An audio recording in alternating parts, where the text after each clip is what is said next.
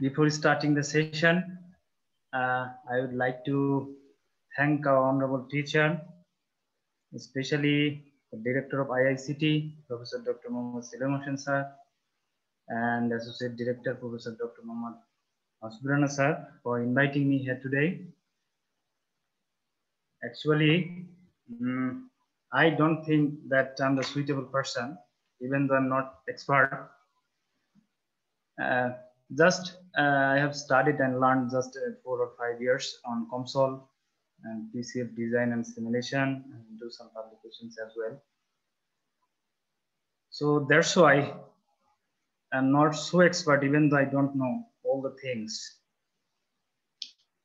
Okay, uh, I'd like to show the gratitude to the director and uh, associate director again because this is actually the huge platform they invite me to explore myself and to share my knowledge, share something to the audience and beautiful audiences.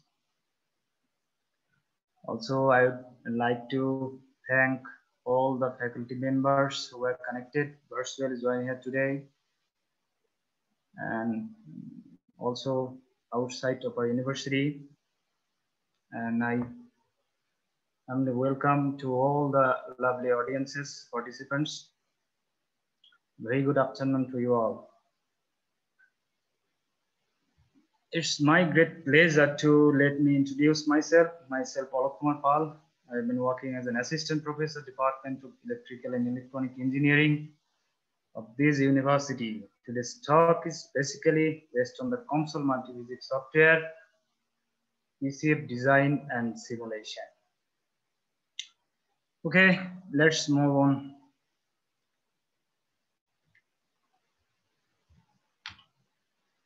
Okay, today's talk, actually I have segmented in three subsections. First of all, I will uh, I will give you some brief description about the COMSOL multiphysics software. You know, not only COMSOL multiphysics software, in any software, basically, a huge platform. We can do uh, thousands of things using any software. I don't know actually, it's quite impossible. Basically, I don't know everything. I know just a very little thing that I have done using the console software. That is actually the photonic crystal fiber as as the last session will be the live demonstration of designing and simulation of PCF using COMSOL multiphysics. That's why I will show some uh, very fundamental things about the photonic crystal fiber. Uh, my plan is uh, for those who are just uh, starting the thesis, especially on the final year students, great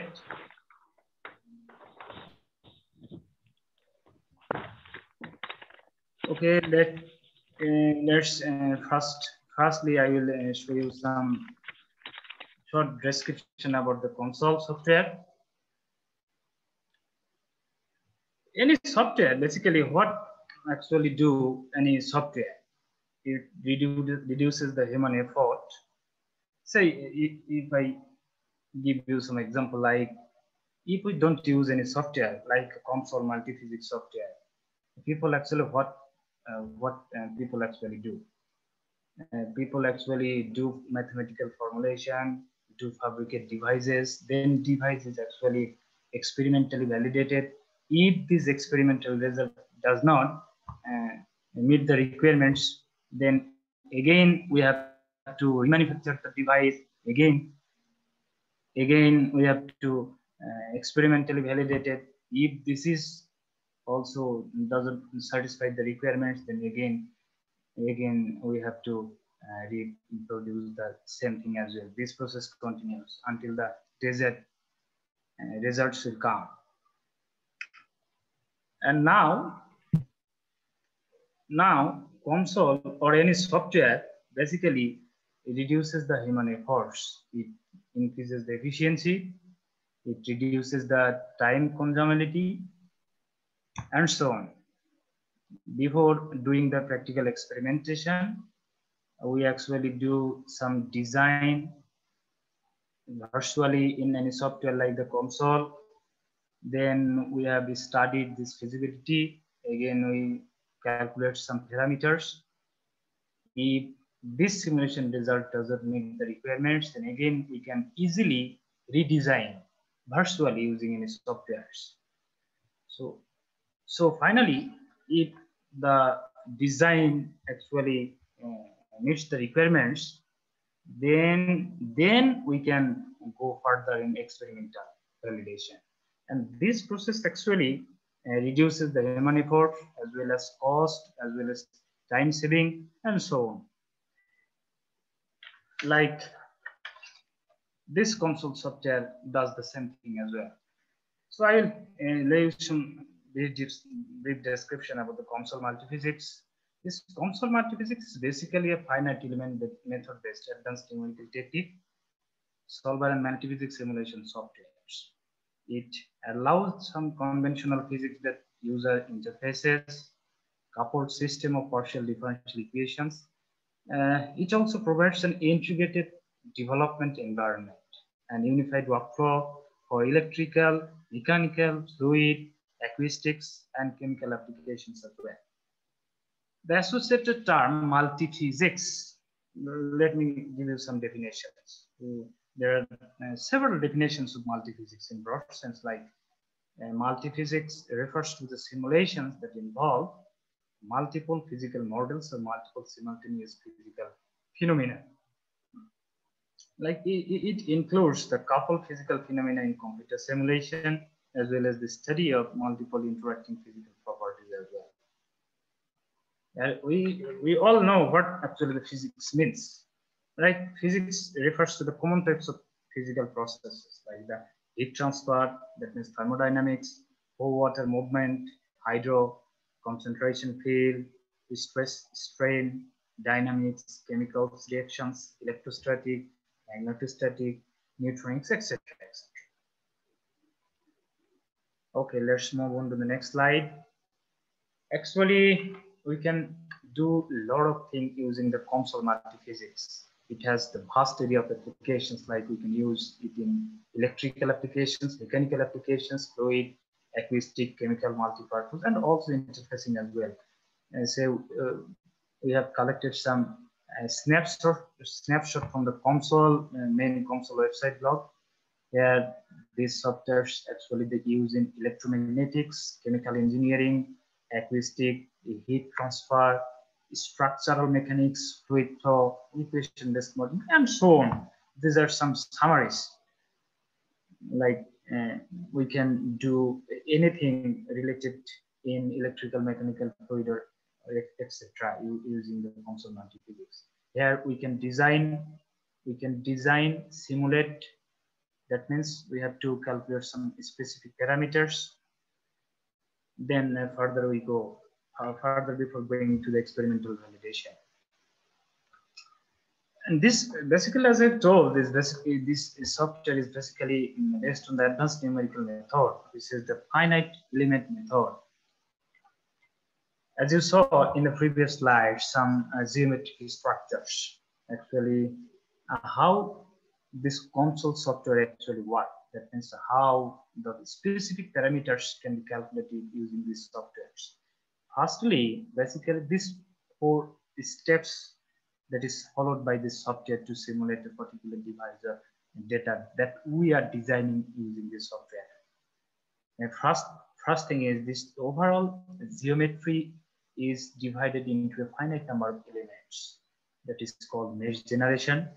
Then it derives the governing partial differential equations for each typical element assembling all those elements of the device to generate a system of partial differential equations, and finally solve the system of partially partial differential equations for determining the unknown. Unknown means the parameters that we are we want to calculate from this software.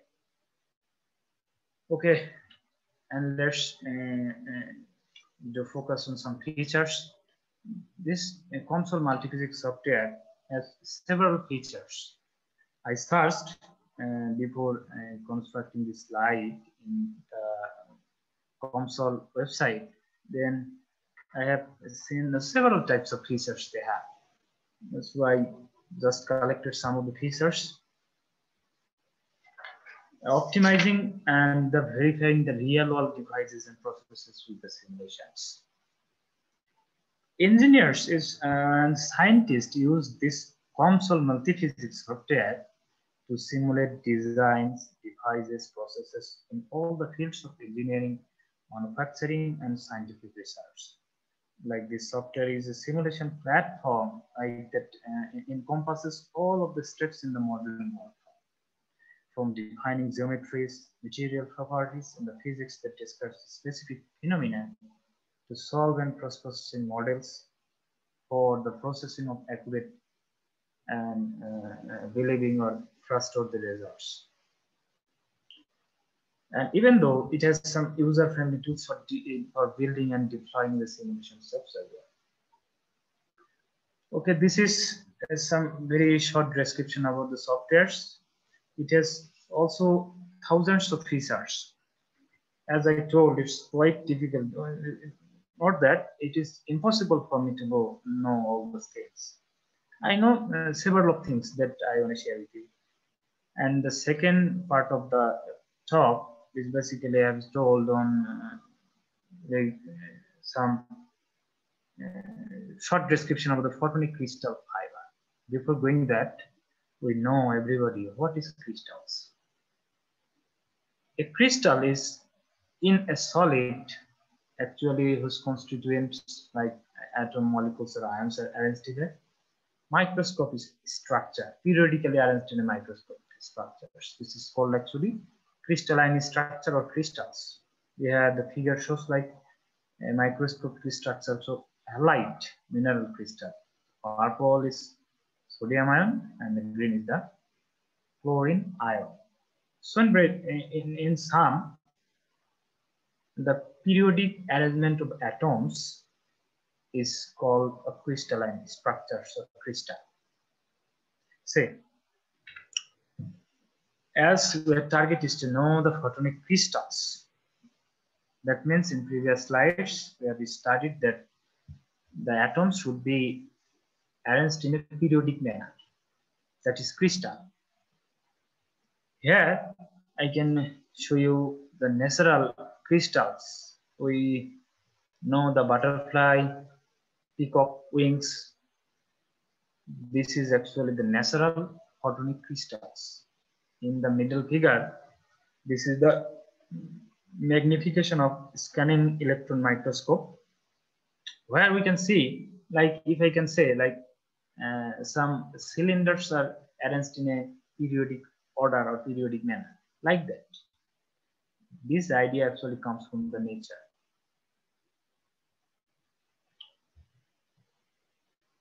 Say, and now what is photonic crystal fiber? photonic crystal fiber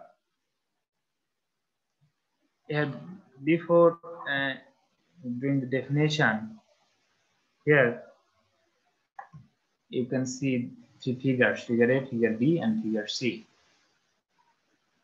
if let us concentrate on figure a like if okay i can sense the pen color.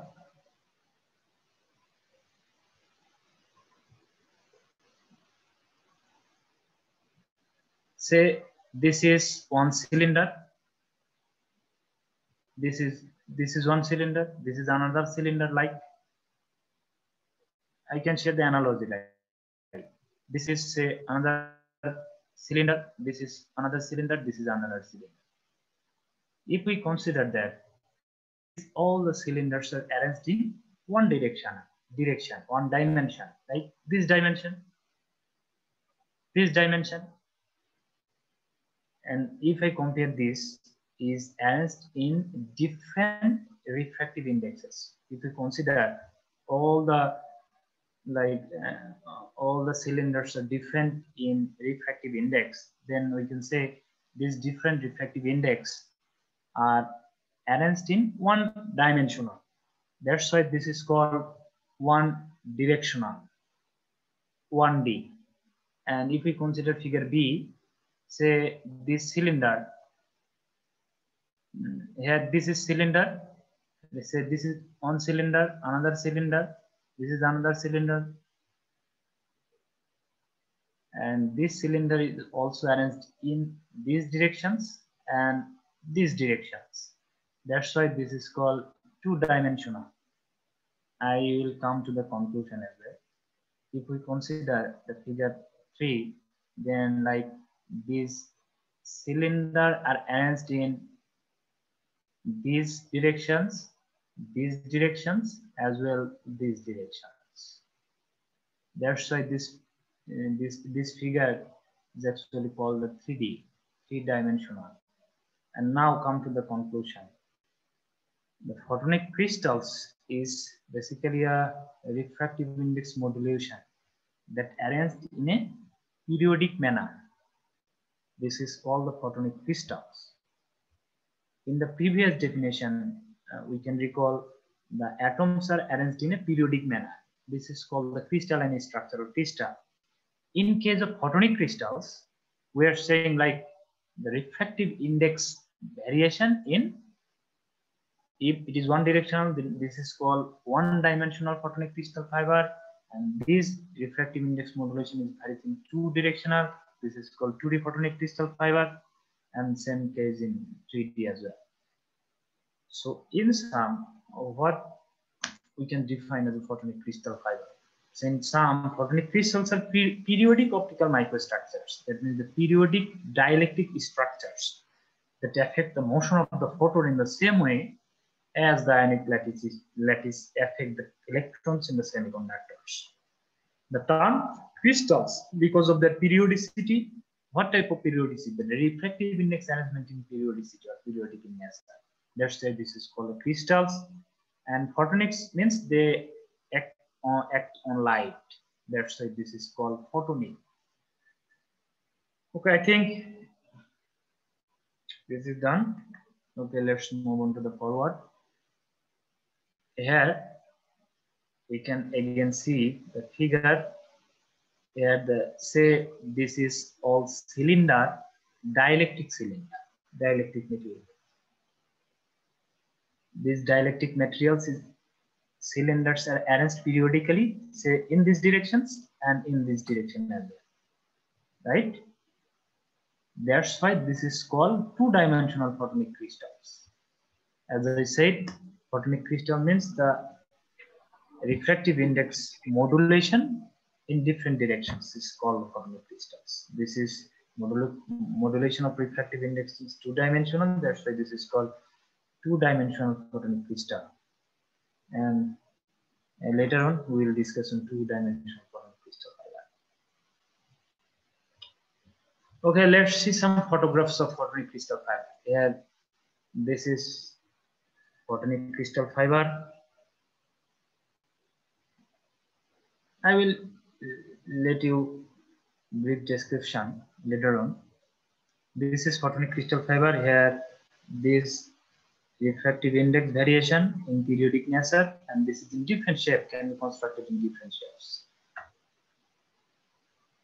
Here uh, left topmost figure is also photonic crystal fiber or light is passing through the to the center this is called actually core and outer uh, outer of the center is called the cladding. And cladding is modulated uh, by arranging in different types of uh, refractive index variations. And uh, and the center figure this is also the photonic crystal fiber in two, two dimensional and designed by COMSOL. And the right right figure this is the scanning electron microscope image of the photonic crystal fiber. And this photonic crystal fiber is basically two types. One is the high index core, another one is the photonic band gap fiber. So I will discuss discussing later on the slides and depending on different applications we can uh, we can uh, fabricate or we can construct different types of fibers on, on the division of high index core and uh, band gap fiber well. Say here some example high numerical aperture fiber, large mode area fiber, high low linearity fiber, low index core, hollow core bragg fiber, etc. Okay, now uh, let us discuss some applications of the photonic crystal fiber. It is it can be applied in different sectors as well. We can use it for data communication or mitigating some like uh, light reference property, dispersion, negative dispersion property, and so on. Also, it can be applied at, at the same time of physical sensors. On the physical sensor, we can use it a high electromagnetic field measurement, biochemical sensing, security applications, and so on. Also, it can be used as used to monitor the well and gas field as well. And the latest that people are researcher to researcher community throughout the world are and are now latest work is based on the plasmonic sensors, the sensors which is based on surface plasmon resonance, using this photonic crystal fiber platform that the recent trend of all the researchers throughout the world are designing any types of sensors using plasmonic property using PC platform. Uh, uh, on that medical diagnostic can be used bioimaging, environmental monitoring, chemical sending, sensing, drug, drug uh, safety measurement, organic chemical sensing, uh, temperature sensing, voltage sensing, and so on. Biosensor as well. Okay. Uh, so the uh, till now, I have discussed the photonic crystal fiber. Actually, we even we don't have the idea how much thickness of the photonic crystal fiber we have and or, or can be. One analogy, our topmost figure shows the scanning electron microscope of a human hair. Uh, uh, Khalil, can you make sure is there anyone participants outside of a country? If it is not, then we can sometimes talk in Bangla because I think if I talk in Bangla, that sir sir আমার মনে হয় বাংলাতে বললেই ভালো হয় sir আমাদের কোনো participant বাইরে থেকে না স্যার আপনি বাংলায় বললেই বেশি ভালো হয়। হ্যাঁ সেটাই বলছি বাংলা বললে একটু বেশি ভালো হয়। জি স্যার সবাই একটু মজা পাই জি স্যার বাংলায় কন্টিনিউ করুন sir Okay, I am seeking the permission from our honorable director and associate director as well. তো ব্রেকেটে লেখো আলফা সমান সমান। Can you hear me, please? Yes, you can you can uh, do in Bangla, no problem. Allah Akbar. Yeah, yeah, yeah. Thank you, thank you. I have no problem, but uh, due to uh, sake of some participants, if I talk in Bangla, then I, I, I can the session will be more effective as well. That's why I'm talking. Yeah, yeah. Okay, no problem. Okay, thank you, thank you, thank you. Okay, thanks. And sorry for the interruptions. আমি যা বলছি, একটা মানুষের চুল, একটা চুলের যে thickness সেটার স্ক্যানিং ইলেকট্রন মাইক্রোস্কোপ সেটা মোটামুটি একশো থেকে একশো বিশ মাইক্রোমিটার একশো থেকে একশো বিশ মাইক্রোমিটার সো একটা অপটিক্যাল ফাইবার আমি এই এই ঘটনায় কেন আসলাম? সেটা হচ্ছে, এতক্ষণ পর্যন্ত যে আমরা ফটোনিক ক্রিস্টাল ফাইবার পড়াশোনা করছি, সেটা নিয়ে, সেটার থিকনেসটা কেমন? সেটার আইডিয়া জেনারেট করার জন্য। মানুষের চুলের থিকনেস হলো একশো থেকে একশো বিশ মাইক্রোমিটার ইন অ্যাভারেজ এখন একটা অপটিক্যাল ফাইবার কেবলের থিকনেসটা মোটামুটি one twenty five micrometre for single mode fibre so think about how much মানে কত কম সূক্ষ্ম এই অপটিক্যাল ফাইবার কেবলগুলো মানে পিসিএফ কেবলগুলো ওকে আমরা এই যে এতক্ষণ পর্যন্ত ফটোনিক ক্রিস্টাল ফাইবার সেটাকে মাইক্রোস্ট্রাকচার অপটিক্যাল ফাইবার বলে বিকজ এদের রেঞ্জটা হলো মাইক্রোমিটার রেঞ্জে আমরা কিছুক্ষণ আগে দেখলাম যে স্ট্যান্ডার্ড ফাইবারের সাইজ হচ্ছে একশো পঁচিশ মাইক্রোমিটার তো সেই জন্য এটাকে অনেক সময় মাইক্রোস্ট্রাকচার অপটিক্যাল ফাইবার বলে। তো আমরা এই মাইক্রোস্ট্রাকচার অপটিক্যাল ফাইবারে কেন গেলাম? তো আমাদের নর্মাল যে optical that means conventional optical ফাইবারগুলো আছে সেই ফাইবারগুলোর দুটো সেগমেন্ট একটা হচ্ছে কোর রিজিয়ন এই অংশটাকে বলে কোর অর্থাৎ যেটার মধ্যে দিয়ে লাইট পাস করে, আর আউটার রিজনটাকে বলা হয় ক্ল্যাডিং রিজন সো এই কনভেনশনাল অপটিক্যাল ফাইবারের মধ্যে দিয়ে লাইট পাস করার মেকানিজম হলো একটা, সেটা হচ্ছে টোটাল ইন্টারনাল রিফ্লেকশন এই টোটাল ইন্টারনাল রিফ্লেকশন স্যাটিসফাই করতে গেলে দুই ধরনের কন্ডিশন স্যাটিসফাই করতে হয়। একটা হচ্ছে the incident angle should be greater than equals to critical angle at the same time the core refractive index should be higher than the cladding region সেই জন্য সেই জন্য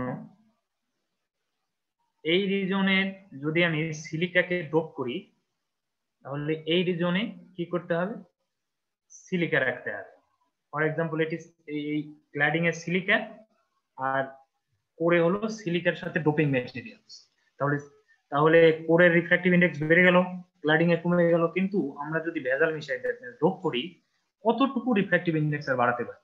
সেই জন্য এই কোর এবং ক্লাডিং এর রিফ্র্যাক্টিভ ইন্ডেক্স ডিফারেন্সকে বলা হয় ইন্ডেক্স কন্ট্রাস্ট এই ডিফারেন্সটা যত বেশি হবে, ঠিক ভালোভাবে লাইটটা সেন্টারে কনফাইন করবে টিআইআর স্যাটিসফাই করবে লাইটটা সেন্টারের মধ্যে দিয়ে যাবে। সেন্টারের মধ্যে দিয়ে যাবে এখন আমাদের যে নর্মাল কপার ওয়্যার এই কপার ওয়্যারের মধ্যে দিয়ে যে আমরা ইনফরমেশনগুলো ট্রান্সমিট করি, সেটা হলো সুপার স্পিড নয় হাই স্পিড নয়।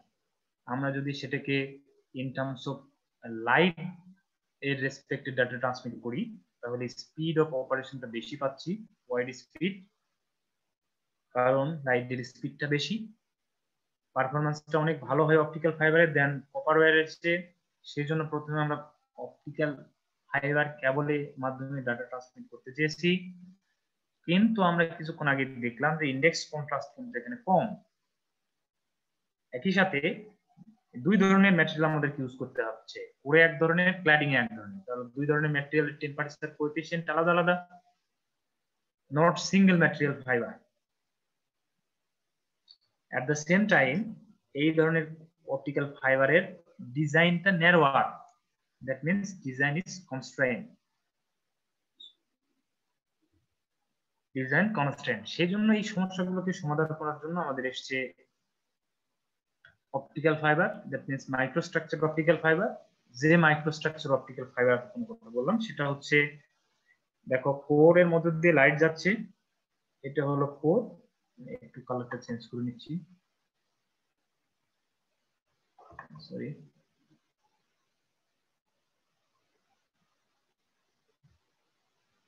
okay? এটা হলো কোর কোরের মধ্যে দিয়ে লাইট যাচ্ছে। ফটনিক ক্রিস্টাল ফাইবার হতে গেলে আমরা বললাম যে ক্ল্যাডিং রিজিয়নে পিরিয়ডিক অ্যারেঞ্জমেন্ট থাকতে হবে।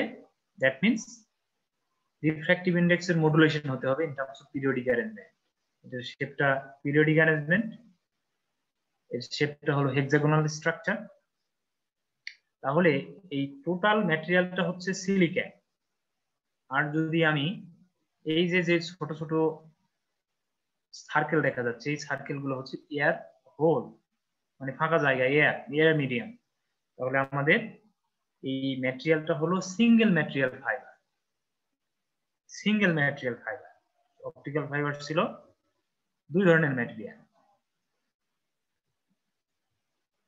একটু ব্রিফলি একটু বিস্তারিত আলোচনা করছি। এটা হলো cross section of the NY microstructure optical fibre যেখানে এটা হলো কোর রিজিয়ন আর ক্ল্যাডিং রিজিয়ন হচ্ছে ক্ল্যাডিং রিজন হচ্ছে যে number of air holes circle দেখা যাচ্ছে কালো কালো number of air holes R arranged in a periodic manner আর এই ক্ল্যাডিং এর শেপটা ক্ল্যাডিং এর শেপটা এখানে করা আছে hexagonal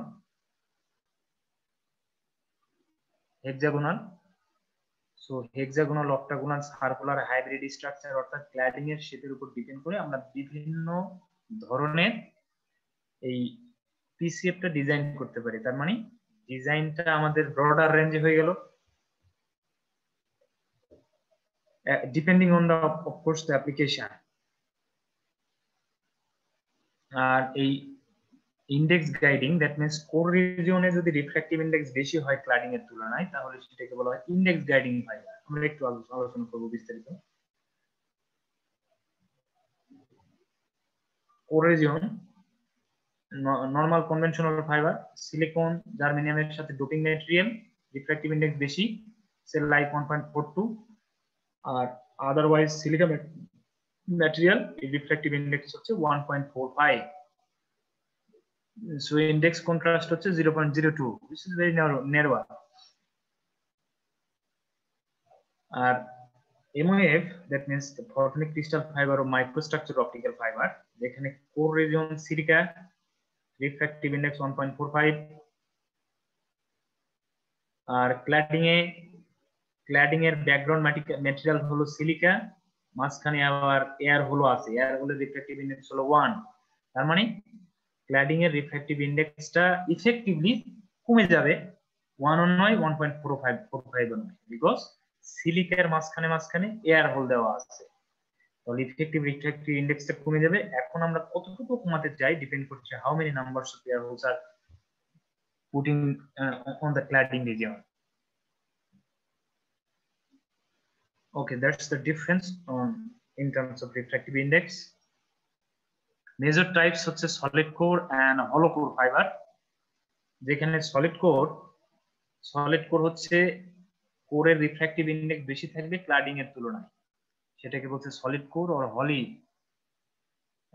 fibre or index guiding fibre আর যেখানে কোর রিজনটার মাঝখানে হচ্ছে এয়ার হোল সেটাকে বলছে হলো কোর ফাইবার তার মানে কোরের রিফ্র্যাক্টিভ ইন্ডেক্সটা কম হবে ক্লাডিং এর তুলনায়। কিন্তু সলিড কোর ফাইবারের রিফ্র্যাক্টিভ ইন্ডেক্সটা কোরের রিফ্র্যাক্টিভ ইন্ডেক্স বেশি হবে ক্লাডিং এর তুলনায়। ওকে। এখন এই সলিড কোরের মেকানিজমটা হচ্ছে লাইট যে গাইড করবে, সেই মেকানিজমটা হচ্ছে টোটাল ইন্টারনাল রিফ্লেকশন যেটা কিছুক্ষণ আগে আমি বললাম। আর কনভেনশনাল অপটিক্যাল ফাইবার টিআইআর কিন্তু এই ফটোনিক ক্রিস্টাল ফাইবারে কিন্তু মডিফাইড টিআইআর মডিফাইড কথাটি আসলো, যদি সংক্ষেপে বলি এরকম, এখানে সলিড কোরের ক্ষেত্রে ক্ল্যাডিং এর যে ইফেক্টিভ রিফ্র্যাক্টিভ ইন্ডেক্স সেটা কনস্ট্যান্ট নয়। এটা depending on the wavelength that means the continuous variation of effective refractive index on the cladding of the solid fiber সেই জন্য একে মডিফাইড টিআইআর বলা হয়। আর হলপুরের লাইট গাইডিং মেকানিজমটা হচ্ছে ফটোনিক ব্যান্ড গ্যাপ যদি খুব সংক্ষেপে বলি নর্মাল সেমিকন্ডাক্টর ম্যাটেরিয়ালের ব্যান্ড গ্যাপ আর এখানে যে ব্যান্ড গ্যাপ সিমিলার সংক্ষেপে হচ্ছে লাইট তো গাইড করবে হলকুরের মধ্যে দিয়ে। এখন যে ফোটনগুলোর ব্যান্ড গ্যাপ এনার্জি ক্ল্যাডিং এর ব্যান্ড গ্যাপ এনার্জির চেয়ে বেশি, সেই ফোটনগুলো শুধুমাত্র কোরের মধ্যে দিয়ে পাস করবে। বাকিগুলো ইভানিসেন্ট হয়ে যাবে মানে প্রপাগেট করবে না, কিন্তু এদের এনার্জিটা ডিকে করতে থাকবে, যাবে না। অর্থাৎ পার্টিকুলার কিছু ওয়েভলেন্থের লাইট কোরের মধ্যে দিয়ে যাবে পার্টিকুলার কিছু ইভেন্টের লাইট কোরের মধ্যে দিয়ে যাবে না।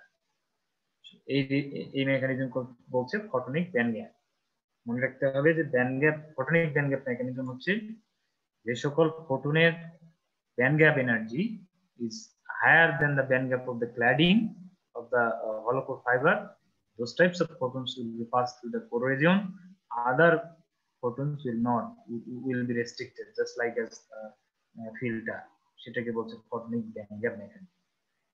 And to, to satisfy this mechanism, the core refractive index should be less than the cladding refractive index.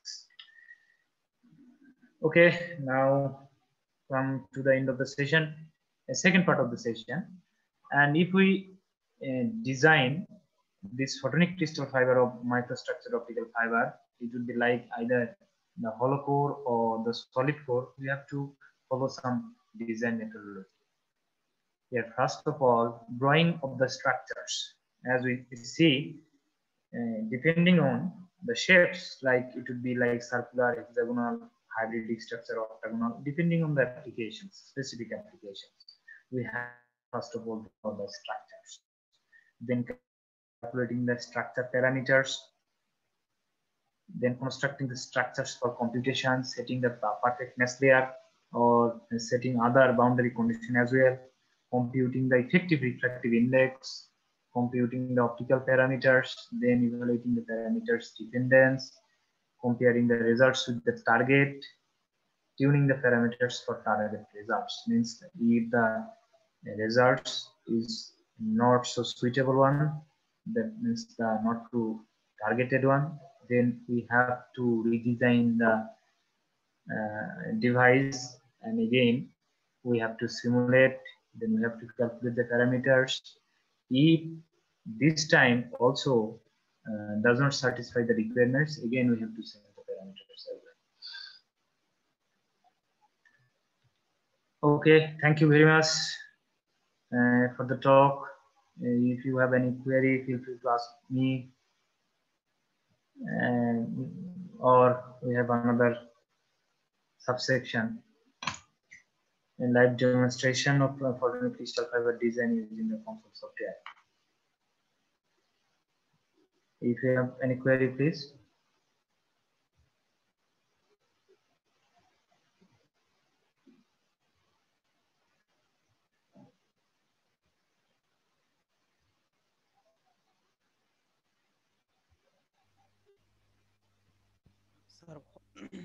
The meaning of photonics band gap energy? Photonic band gap energy. Uh, What we mean by Okay. Okay. Let me uh, say like band gap energy. আমরা যদি semiconductor ম্যাটেরিয়ালের কথা চিন্তা করি সংক্ষেপে বলে বললাম যে একটা ইলেকট্রন যদি ভ্যালেন্স ব্যান্ড থেকে কন্ডাকশন ব্যান্ডে নিয়ে যেতে হয় তাহলে যে ফরবিডেন এনার্জি গ্যাপটাকে পার করতে হয়, সেটাকে বলছে ফরবিডেন এনার্জি রিজিয়ন এবং ওই এনার্জিটাকে বলছে ব্যান্ড গ্যাপ এনার্জি তো একটা ইলেকট্রনকে যদি ভ্যালেন্স ব্যান্ড থেকে কন্ডাকশন ব্যান্ডে নিয়ে যেতে হয়, তাহলে ওই ইলেকট্রনটাকে মিনিমাম ব্যান্ড গ্যাপ এনার্জি সমান এনার্জি দিতে হবে বাইরে থেকে অথবা বেশি দিতে হবে like that photonic band gap এনার্জিটাও similar sometimes uh, this uh, photonic crystal fiber is called the semiconductor materials for photonics like that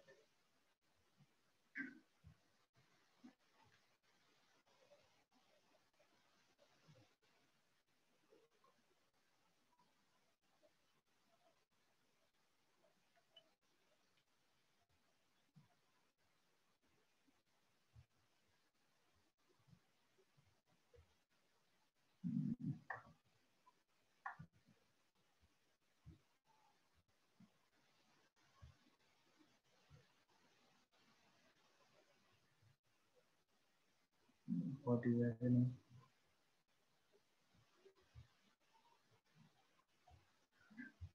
okay if যদি কারও কোনো আপনাদের কোনো কোশ্চেন না থাকে, আমি একটু পরের সেকশনে চলে যাচ্ছি। সেখানে একটু বেসিক জিনিস আলোচনা করব। আমি একটু বলে নিই যে আজকে চিন্তা করেছি আমাদের থিসিস স্টুডেন্ট দু হাজার ষোলো সিরিজ তাদের তো কেবল থিসিস শুরু হচ্ছে। সেই জন্য খুব বেসিক দু একটা জিনিস নিয়ে আলোচনা করলাম।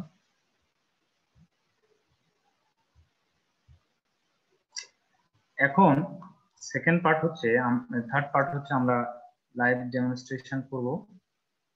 কনসোল মাল্টিমিউজিক সফটওয়্যারে এই পিসিটা কীভাবে ডিজাইন করতে হবে সিমুলেট করতে হয় এটা আপনারা ইউটিউবে সার্চ করলেও পাবেন। এখন এখানে একটু দেখুন এটা হলো সলিড কোর ফাইবার কীভাবে বুঝতে পেরেছি? এই কোরের জন্য এটাকে বলছে core please send your PowerPoint sorry it is not changing okay okay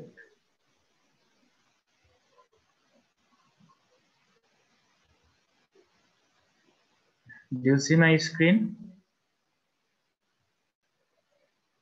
Yes, sir. Yes, sir. Okay. Solid core fibre যেটার কোরটা হল কোরের রিফ্র্যাক্টিভ ইন্ডেক্স ক্ল্যাডিং এর চেয়ে বেশি হয় আমি এই যে ইয়েলো ব্যাকগ্রাউন্ড সেটা সিলিকা ফিউজড সিলিকা তাহলে কোর কোরটা হলো সিলিকা তৈরি কোরের রিফ্র্যাক্টিভ ইন্ডেক্স সিলিকা আছে like one point four four five আর ফোর ফাইভ এখন এই ক্লাডিং এর মধ্যে এয়ার হোল এয়ার হোল বসানো আছে। তাহলে সিলিকা হলো ওয়ান পয়েন্ট ফোর ফাইভ আর এয়ার হোলের হচ্ছে ওয়ান তাহলে ক্ল্যাডিং এর ইফেক্টিভ ইন্ডেক্সটা চেঞ্জ হয়ে যাবে মানে কমে যাবে। সেই জন্য কোরের ইফেক্টিভ ইন্ডেক্স বেশি ক্ল্যাডিং এর কম। ওকে এখন এই এই যে সার্কেলগুলো সাদা সাথে সার্কেল হোয়াইট সার্কেল এগুলোকে বলা এয়ার হোল এই এয়ার হোলগুলোর ডায়ামিটার আমি ধরে নিচ্ছি ওয়ান মাইক্রোমিটার দেখানোর সুবিধার্থে। ওয়ান মাইক্রোমিটার এখানে এই যে আউটার দেখেন কয়টা বাহু আছে? ছয়টা বাহু আছে। সেজন্য এই ধরনের স্ট্রাকচারকে বলা হয় হেক্সাগোনাল স্ট্রাকচার ছয়টা বাহু আছে। এভাবে দুই ধরনের ওয়াল আছে। সো অপটিক্যাল ফাইবারে এদেরকে বলা হয় রিং প্রথমটা হলো ফার্স্ট রিং অর্থাৎ এই টোটাল একটা মিলে এটা হলো ফার্স্ট রিং আউটারটা হলো সেকেন্ড রিং এগুলোকে বলবে ring first ring and second ring okay তাহলে প্রথম রিং এ আমাদের নাম্বার অফ এয়ার হোল হচ্ছে একটা, দুইটা, তিনটা, চারটা, পাঁচটা, ছয়টা। ছয়টা এয়ার হোল আর আমরা ধরে নিচ্ছি এই যে কোরের সেন্টার থেকে প্রথম রিং এর যে এয়ার হোল সেটার ডিস্টেন্স হচ্ছে first ring air hole distance হচ্ছে দুই মাইক্রোমিটার আমি ধরে নিচ্ছি নর্মাল ডিজাইনের জন্য, আপনাদের দেখানোর জন্য। এবং এই পরের ফার্স্ট রিং থেকে সেকেন্ড রিং পর্যন্ত এদের ডিস্টেন্স হচ্ছে দুই মাইক্রোমিটার এটাকে বলা হয় পিস মানে distance between center to center distance between two adjacent uh, ring is called the piece. এটাকে বলছে পিচ। ওকে আবার একই রিং এর মধ্যে দুইটা এয়ার হোলের মধ্যে ডিসটেন্সটাকে বলা হয় পিস সেলফ পিস এটাকেও অনেক সময় পিস বলা হয়। ওকে তাহলে আমরা এখান থেকে পেলাম এয়ার হোলের ডায়ামিটার হলো এক মাইক্রোমিটার একটা এয়ার হোল থেকে আরেকটা এয়ার হোলের ডিস্টেন্স হলো দুই মাইক্রোমিটার সেন্টার থেকে প্রথম রেখে এয়ার হোল ডিস্টেন্স হলো দুই মাইক্রোমিটার এখন ডিজাইনের জন্য আমাদের আরেকটা জিনিস জানতে হবে, সেটা হচ্ছে এখানে আমরা টোটাল জানি তিনশো ষাট ডিগ্রি হলো ইলেকট্রিক্যাল ডিগ্রি তাহলে এই হেক্সাগোনাল হেক্সাগোনাল প্রত্যেকটা বাহু সেন্টার থেকে প্রত্যেকটা বাহু ছয় দিয়ে ভাগ করতে হবে কত হলো? ষাট ডিগ্রি রাইট তার মানে সেন্টার থেকে প্রত্যেকটা বাহুর মধ্যবর্তী অ্যাঙ্গেল হলো ষাট ডিগ্রি এইটা মাথায় রাখতে হবে। এটা হলো ষাট ডিগ্রি এটা হলো ষাট ডিগ্রি অর্থাৎ প্রত্যেকটা বাহু প্রত্যেকটা বাহু থেকে ষাট ডিগ্রি ব্যবহার যদি হেক্সাগোনাল না হলে অক্টাগোনাল হয় আট দিয়ে ভাগ করতে হবে। তার মানে হলো three sixty degree divide by n এটা হলো সূত্র আর কি। এনিওয়ে তাহলে আমরা দেখলাম একটা বাহু থেকে আরেকটা বাহুর মাঝখানে মধ্যবর্তী দূরত্ব মধ্যবর্তী অ্যাঙ্গেল হলো সিক্সটি ডিগ্রি আমি যেটা বলার চেষ্টা করছি সেটা হচ্ছে ফর এক্সাম্পল আমি এই এই এয়ার হোলটাকে কম সরে ডিজাইন করতে চাই। তাহলে এই এয়ার হোলের কি কি লাগবে? এই এয়ার হোলের কোঅর্ডিনেট লাগবে। একটা হলো এক্স একটা হলো ওয়াই এই দুইটা লাগবে। তাহলে এক্স আমরা কি জানি? একটু দেখুন। আমরা সেন্টার থেকে, একটু দেখুন মনে মুশকিল হচ্ছে। সেন্টার থেকে এইদিকে দেখাই। একটা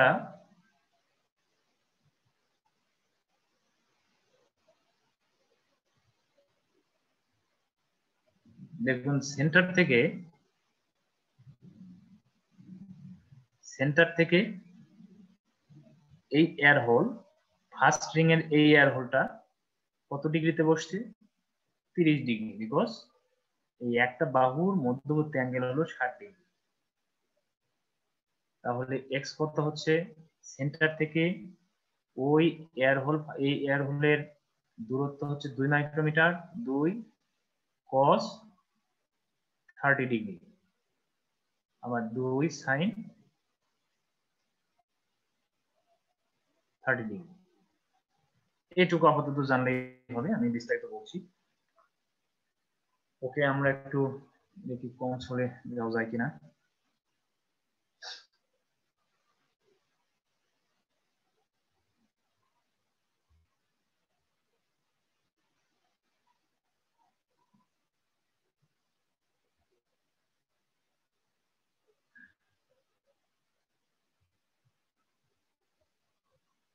Share the screen.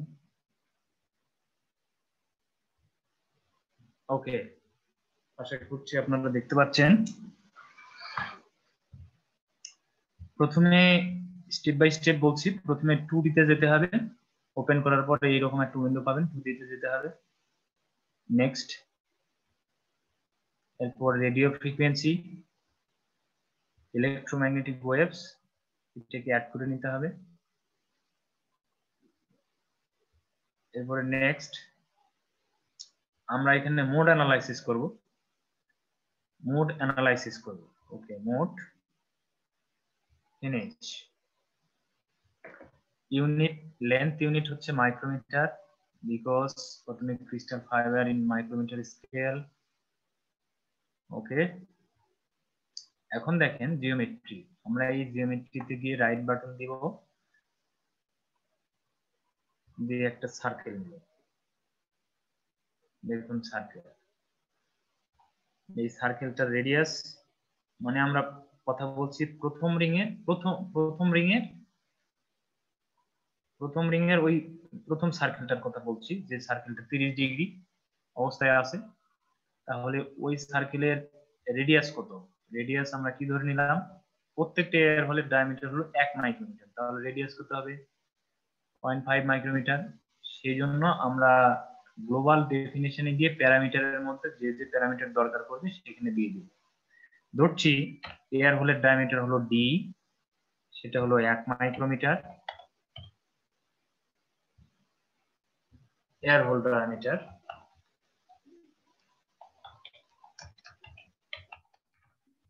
okay এরপর এই সার্কেলটা যদি দেখুন রেডিয়াস ডি বাই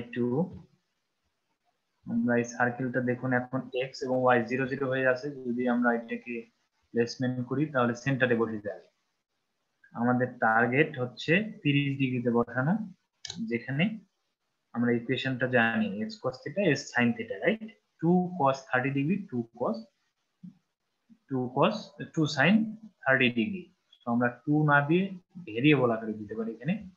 তো সেন্টার থেকে ডিস্টেন্স আমরা ধরে নিচ্ছি ডিস্টেন্স হলো আর ফর এক্সাম্পল লাইক এটা দেব হচ্ছে টু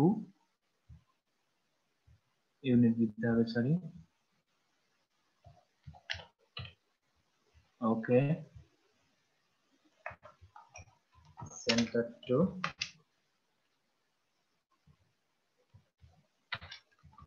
first ring. Okay আমরা এই সার্কেলটাকে প্লেসমেন্ট করতে পারি এখানে। আর cos of 30 ডিগ্রি 30 ডিগ্রি এখানে একটা বিষয় মনে রাখতে হবে। এখানে ইন টার্মস অফ কনভার্সন করে রেডিয়ানে দিতে হবে। বিকজ ডিগ্রিতে দিলে হবে না। অর্থাৎ পাই বাই একশো আশি দিয়ে গুণ করে দিতে হবে।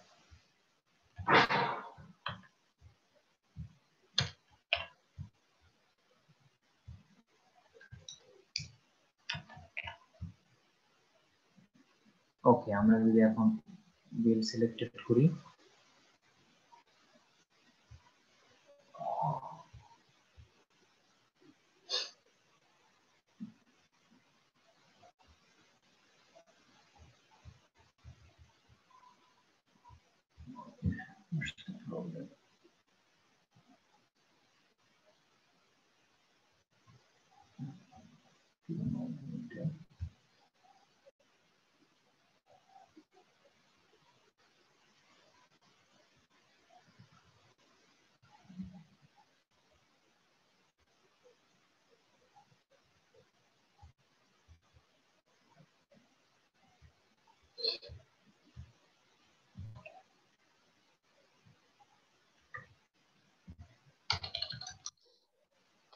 That's correct.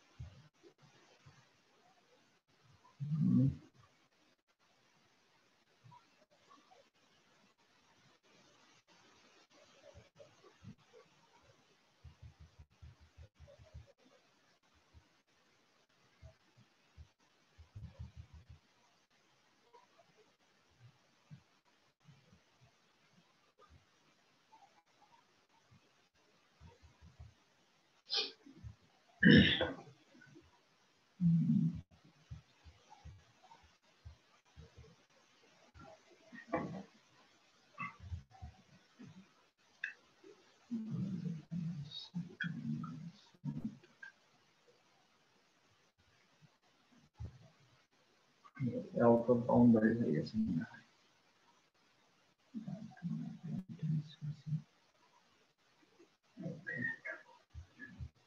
আমি একটু শুরু থেকে আবার একটু চেষ্টা করছি boundary হয়ে গেছে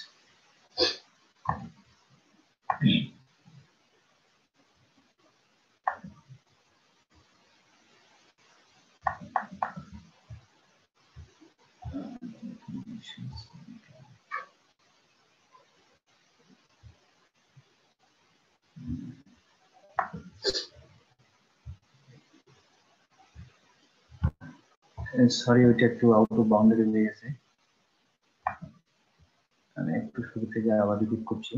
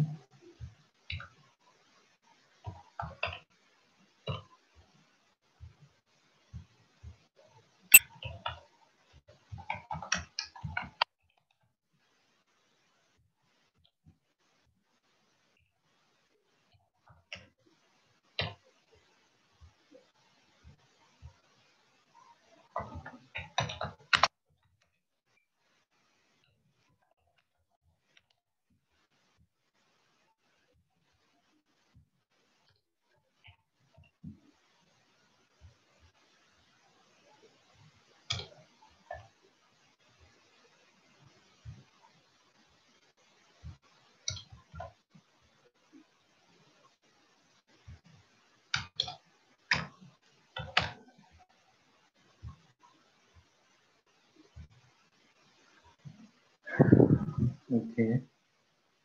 আমাদের এবার দরকার পরের সার্কেল একটা সার্কেল নিয়ে পরের সার্কেল সব সার্কেলগুলোর রেডিয়াস হচ্ছে রেডিয়াস হচ্ছে ওয়ান মাইক্রোমিটার সরি ডায়ামিটার হলো ওয়ান মাইক্রোমিটার আর রেডিয়াস হবে তার মানে ডি বাই টু এই পরের সার্কেলটা আমরা বসাচ্ছি কত অ্যাঙ্গেলে একটা সার্কেল থেকে আরেকটা সার্কেলের অ্যাঙ্গেল হচ্ছে ষাট ডিগ্রি করে ব্যবধান।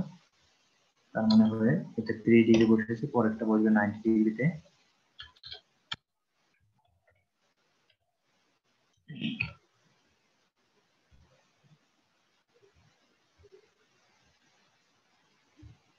ওকে নাইনটি ডিগ্রি ব্যবধানে। এভাবে একটা সার্কেল থেকে আরেকটা সার্কেল যদি হেক্সাগোনাল করতে চাই, ষাট ডিগ্রি পর পর আমরা বসাই দিতে পারি।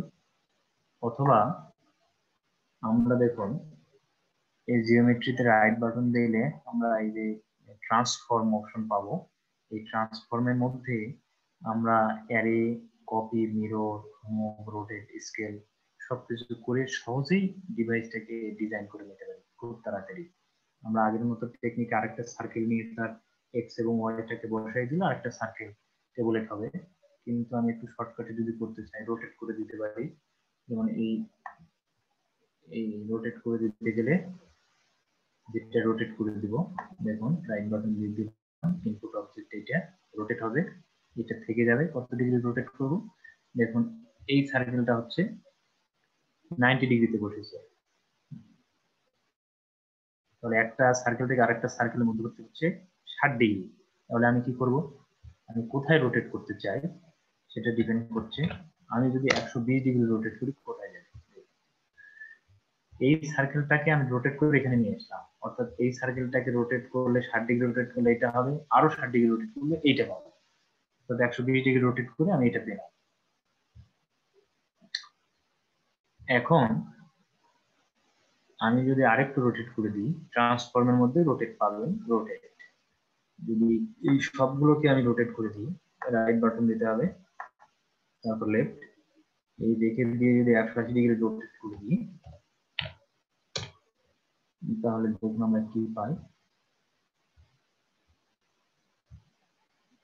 উপরের অংশগুলোকে একশো আশি ডিগ্রি রোটেট করে দিয়েছি, তার মানে নিচের অংশ পাবো। দেখুন লাইক যাব না, আমি এটা রোটেট দিয়ে করলাম সহজে করার জন্য। অথবা প্রত্যেকটা সার্কেলকেই তার এক্স এবং ওয়াই দ্যাট মিনস স্থানাঙ্ক তো প্রত্যেকটা সার্কেলেরই হবে। অর্থাৎ একটা সার্কেল থেকে আরেকটা সার্কেল হলো ষাট ডিগ্রি।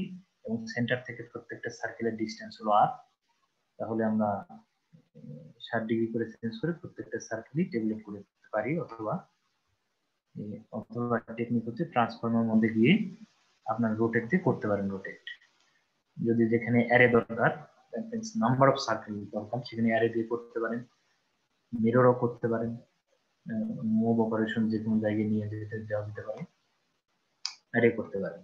এখান থেকে আরেকটা ফাংশন আমি দেখাচ্ছি, যদি দরকার পড়বে অবশ্যই। যেমন ইউনিয়ন ইন্টারসেকশন ডিফারেন্স কম্পোজ এইগুলো অনেক সময় দরকার হবে ডিজাইনের জন্য।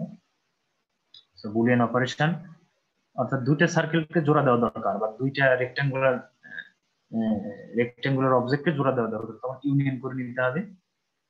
যদি ইন্টারসেক্ট করতে চাই সিমিলার ওয়ে যদি ডিফারেন্স করতে চাই একটা থেকে আরেকটা বিয়োগ দিতে চাই সিমিলার ওয়ে এভাবে আপনাদের করতে হবে। সো আমি শুধু, এই ডিভাইসের ক্ষেত্রে পিসিএফ যেহেতু সার্কুলার এয়ার হোল দিতে হয়, সেটা সার্কেল দিয়ে দেখাচ্ছি। যদি অন্য কোনো ডিভাইস সিমুলেট করতে হয়, যেটা রেক্টাঙ্গুলার ব্লক দিতে হবে বা স্কোয়ার ব্লক দিতে হবে, এখান থেকে পাওয়া যাবে। সার্কেল ইলিপস দিতে পারেন রেক্টাঙ্গল দিতে পারেন স্কোয়ার দিতে পারেন যে কোনো কিছুই হতে পারে।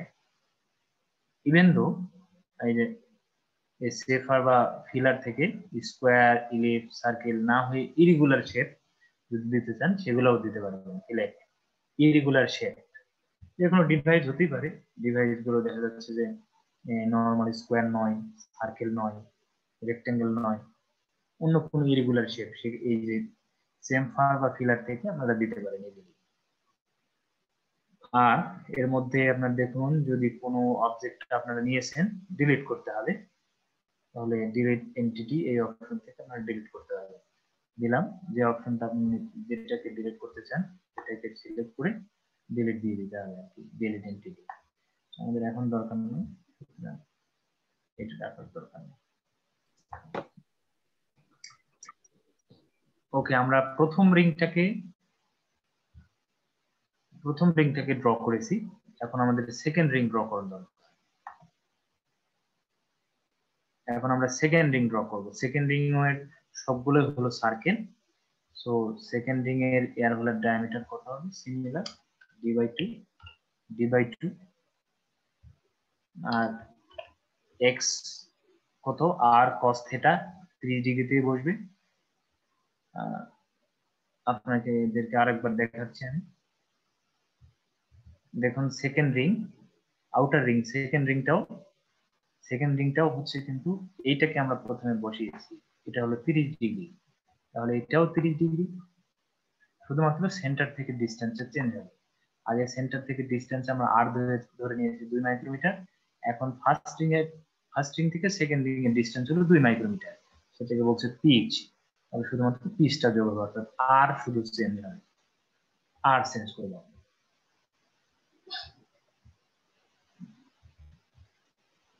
আমরা পিসটাকে ডিফাইন করে নিতে পারি। এটাকে বলছে পি পিটা হলো দুই মাইক্রোমিটার দুই মাইক্রোমিটার ওকে আমরা দেখুন এখন পিসটা ডিফাইন করতে চাই। তাহলে কি হবে? টোটাল আর রাইট সেন্টার থেকে total distance r plus p cos thirty degree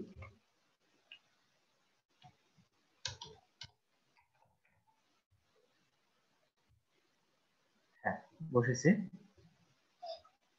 okay similarly আমরা নাইনটি ডিগ্রি সার্কেলটা বসাবো।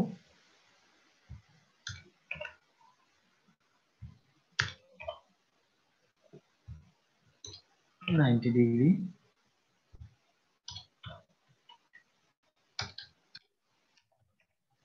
ওকে দেখুন বসেছে আশা করছি। এখন দেখেন, আমি বেসিক অনেক শর্টকাট আছে, অনেকভাবেই করা যেতে পারে। আমি খুব বেসিক বেসিকটা দেখাচ্ছি। দেখুন, এটাকে অফ করে একটু শেয়ার অফ করে দিচ্ছি। এটার কথা চিন্তা করুন। এই তিরিশ ডিগ্রি, এটা এটা এটা কত? নাইনটি ডিগ্রিতে বসেছে। এই সার্কেলটা বসেছে নাইনটি ডিগ্রি এই সার্কেলটা বসেছে তিরিশ ডিগ্রি রাইট এই সার্কেলটা কত ডিগ্রি এইটা মাঝ বরাবর বসেছে রাইট এটার মাঝ বরাবর বসেছে। মাঝ বরাবর। তার মানে আমরা এটা কত ডিগ্রি অ্যাঙ্গেলে বসেছে সেটা কি জানি?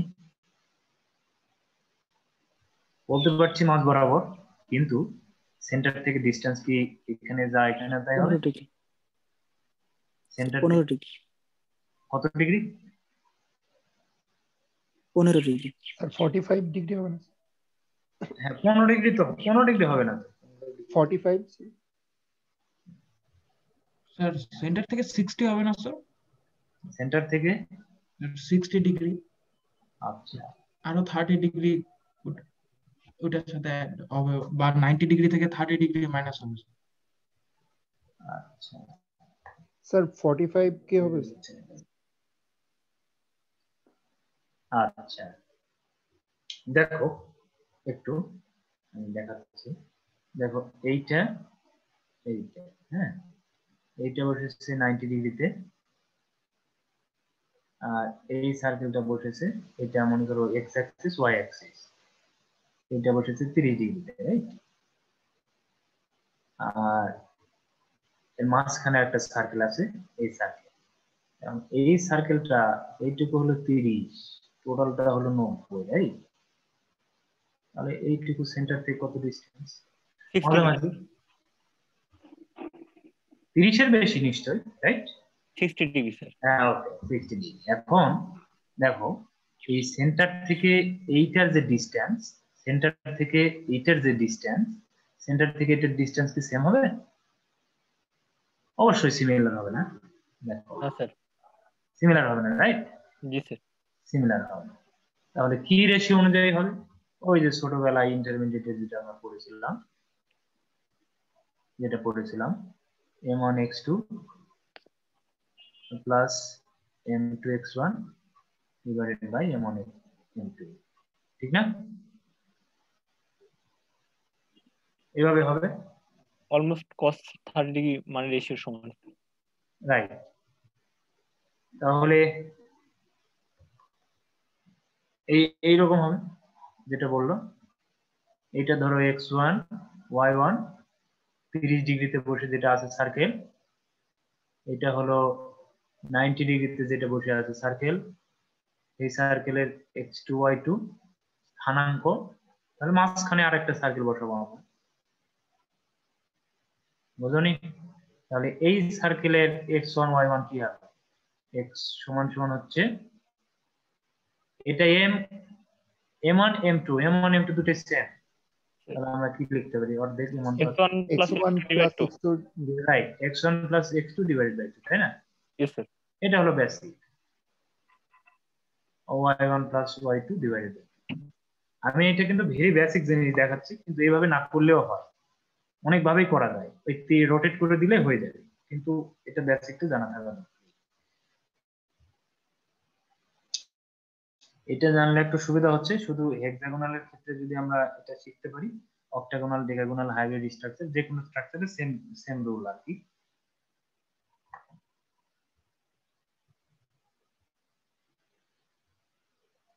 ওকে আমরা গো টু দেখো, তাহলে আমরা মাঝখানের একটা সার্কেল বসাতে চাই। যে সার্কেলটা হচ্ছে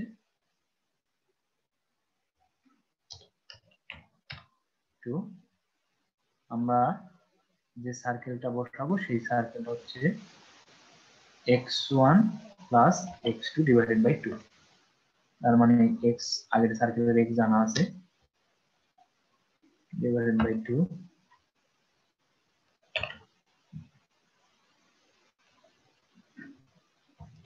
প্লাস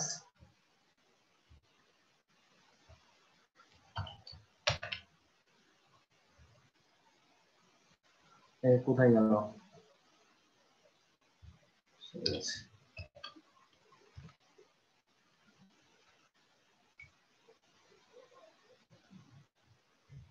anyway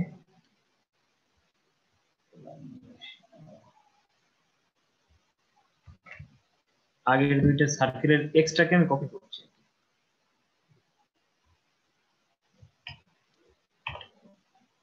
এক্সট্রাকে কপি করলাম।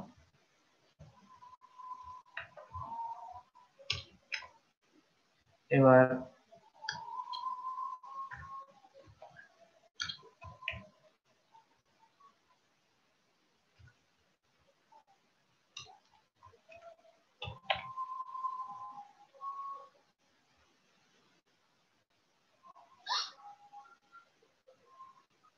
দেখি কি আসে। দেখো আমরা পেলাম, অর্থাৎ হেক্সাগোনালের outer ring that means second ring এর এক বাহু পেলাম। এখন এক বাহু যদি আমরা পাই, এটাকে যদি আমরা রোটেট করে দিই, সেক্ষেত্রে খুব সুবিধা হয়ে যায়। আদারওয়াইজ আমাদেরকে সবগুলোকেই আবার টেবুলেট করতে হবে। দেখি কি হয়। ইনপুট অবজেক্ট রেখে সবগুলোকে কি করতে হবে? একশো বিশ ডিগ্রি। রোটেট করে দিলাম। কি হলো, ভুল হলো কেন? আচ্ছা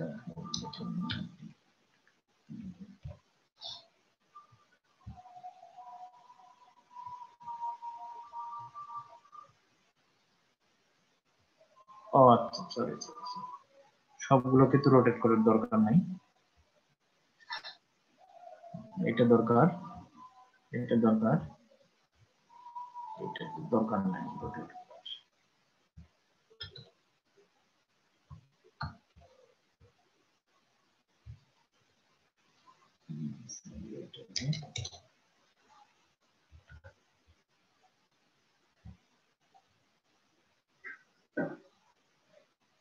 হলো না তো।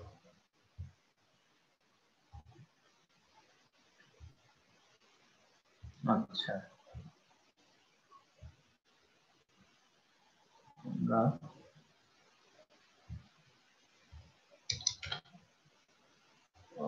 ওকে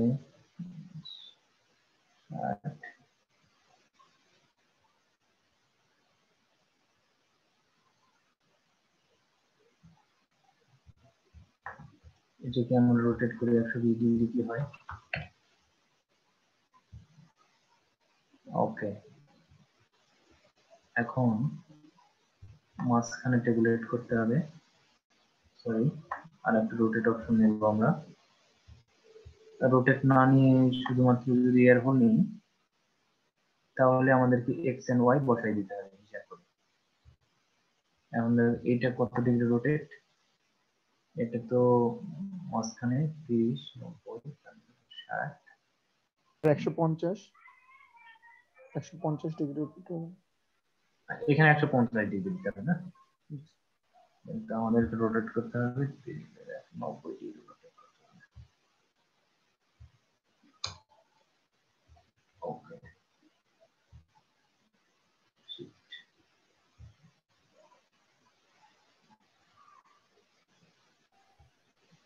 তিরিশ। তিরিশ ষাট। ও সরি একটু ভুল হয়েছিল। ষাট ডিগ্রি করতে হবে না? এইটা এই সার্কেলটা এই সার্কেল বসেছে ষাট ডিগ্রিতে এখান থেকে এই সার্কেলের মধ্যবর্তী কত? এটা হলো নব্বই। তার মধ্যবর্তী হলো তিরিশ। তিরিশ ডিগ্রি তিরিশ ডিগ্রি রোটেট করলে এটা পাওয়া যায়।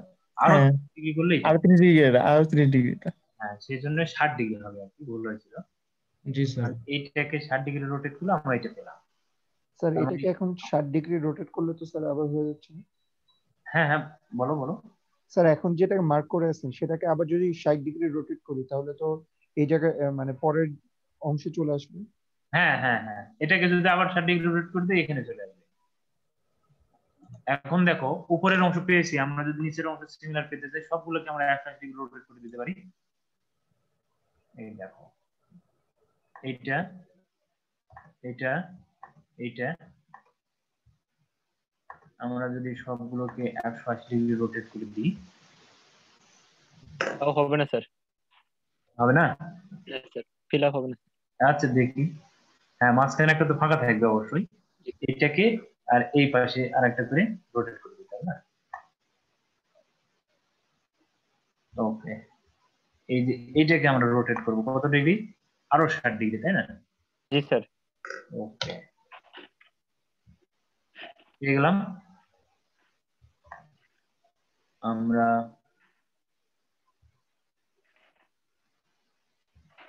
এইটাকে একশো আশি ডিগ্রি রোটেট করে দিই। যে কোনো ভাবেই করা যেতে পারে। উপরের অংশটাকেও রোটেট করে দেওয়া যেতে পারে। দেখো ডিজাইনটা হলো। রোটেট অপশন দিয়ে করাতে খুব তাড়াতাড়ি ডিজাইনটা হলো। কিন্তু আমরা প্রত্যেকটা সার্কেলকে কিন্তু এক্স এবং ওয়াই ক্যালকুলেট করে নিয়ে আমরা বসাই দিলে ওই সিমিলার জিনিস পাবো। ওকে এখন দেখো ব্যাকগ্রাউন্ড ম্যাটেরিয়াল হলো সিলিকা সো আমাদের ব্যাকগ্রাউন্ড ম্যাটেরিয়াল দিতে হবে। আর একটা সার্কেল নেব। যে সার্কেলের রেডিয়াসটা কত হবে দেখো, আমি একটু বলছি পরে।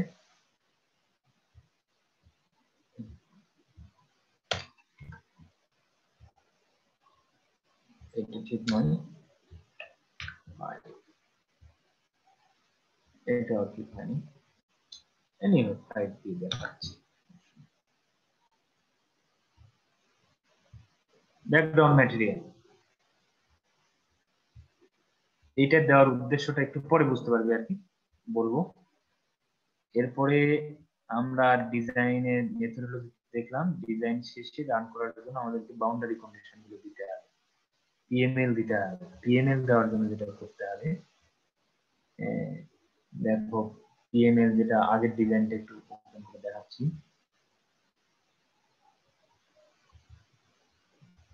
দেখো এটা, এই পিএসিএফ এর বাইরে সিমুলেট করার জন্য পারফেক্ট ম্যাথ লেয়ার এই বাউন্ডারি কন্ডিশনগুলো অ্যাপ্লাই করতে হবে। বাউন্ডারি কন্ডিশনগুলো দিতে কেন হয়? কারণ হচ্ছে practically all the physical problems are open boundary open space. যেটা ডিভাইসগুলো আমরা অপারেট করি, কিন্তু ভার্চুয়ালি যখন সিমুলেট করতে যাব, এটা তো এনভায়রনমেন্ট ক্রিয়েট করা সম্ভব না। সেই জন্য এটা আলাদা করে বাউন্ডারি কন্ডিশনগুলো দিতে হয় অ্যাপ্লাই করতে হয়, যাতে করে এই যে এটা তো লাইট মানে পোরের মধ্যে দিয়ে লাইট যাবে এই সিমুলেট করার সময় ইলেকট্রোম্যাগনেটিক রেডিয়েশনগুলো যেন রিফ্লেক্ট ব্যাক করে অরিজিনাল সলিউশনকে চেঞ্জ না করে দিতে পারে। সেই জন্য এই বাউন্ডারি কন্ডিশন অ্যাপ্লাই করতে হবে যাতে করে এই আউটার আউটার ইলেকট্রোম্যাগনেটিক ফিল্ডগুলো পারফেক্টলি অ্যাবজর্ব করে নিতে পারে সলিউশনটা অ্যাকুরেট হয়। সেই জন্য আমাদেরকে বাউন্ডারি কন্ডিশন অ্যাপ্লাই করতে হবে। এখন আমরা বাউন্ডারি কন্ডিশন আউটার লেয়ার দিতে গেলে আমাদের আরেকটা সার্কেল লাগবে।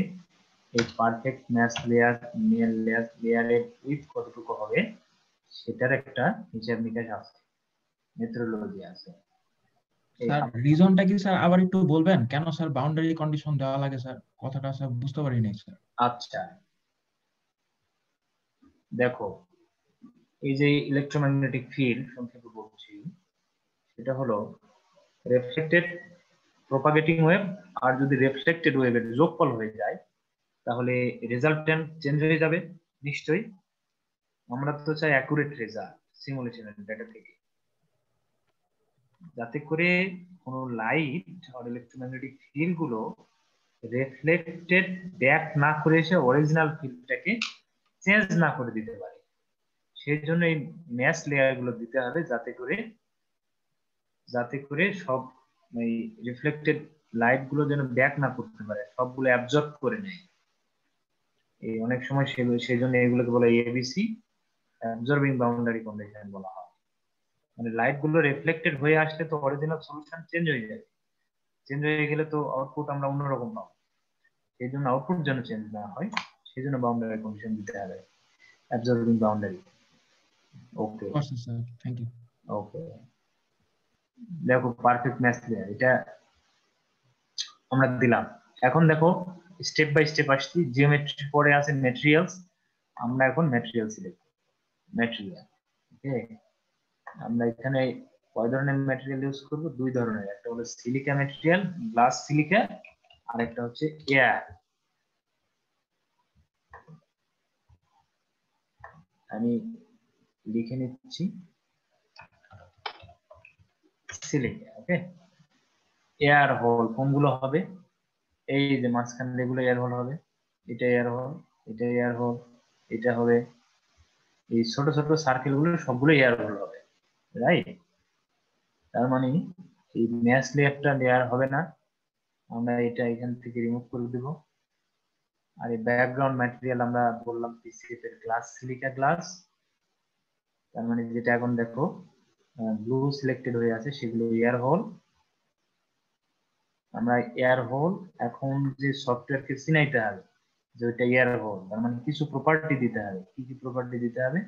যাতে ইলেকট্রোম্যাগনেটিক মডেলে এসে refractive index refractive index select করে অ্যাড করে নিতে হবে ম্যাটেরিয়াল কন্টেন্টের মধ্যে। এখন রিফ্র্যাক্টিভ ইন্ডেক্স এয়ার হোলের রিফ্র্যাক্টিভ ইন্ডেক্স কত? ওয়ান ইলেকট্রিক্যাল কন্ডাক্টিভিটি অবশ্যই জিরো নাকি? Relative permittivity permeability one point zero zero zero zero something যাই হোক ওয়ান দিলাম। অ্যাপ্রক্সিমেটলি ওয়ান ওকে তার মানে এখন সফটওয়্যার বুঝবে যে না, এই, এটা হলো এয়ার হোল এয়ার এখন আমাদেরকে এই ম্যাটেরিয়ালটা PML material PML boundary PML এর বাউন্ডারি ম্যাটেরিয়ালটা হলো সিলিকা ম্যাটেরিয়াল আর এই ব্যাকগ্রাউন্ড ম্যাটেরিয়ালটাও সিলিকা মানে এক নাম্বার এন্টিটি এবং দুই নাম্বার ডোমাইন এই দুইটা হচ্ছে সিলিকা আমরা প্রপার্টি থেকে electromagnetic model refractive index add করে নিচ্ছি লাইব্রেরি ওকে এখন দেখো, আমরা এই সিলিকা গুলোকে সফটওয়্যার তো চিনাই দিতে হবে। চিনানোর জন্য রিফ্র্যাক্টিভ ইন্ডেক্স দিতে হবে। এখন এই রিফ্র্যাক্টিভ ইন্ডেক্সটা একটু পরে দিচ্ছি। কন্ডাক্টিভিটি কত? জিরো ইলেকট্রিক্যাল আর নিয়াবিলিটি হচ্ছে সিলিকার কত? পারমিয়াবিলিটি রিলেটিভ জানা আছে? পারমিয়াবিলিটি হচ্ছে ওয়ান পারমিটিভিটি হচ্ছে three point nine okay three point nine relative permittivity মানে ডাইলেকট্রিক কনস্ট্যান্ট এখন দেখো, এই সিলিকা গ্লাস সিলিকা এইটার জন্য আমি একটু ব্যাক করে স্লাইডে যাচ্ছি। এখানে একটু দেখাচ্ছি।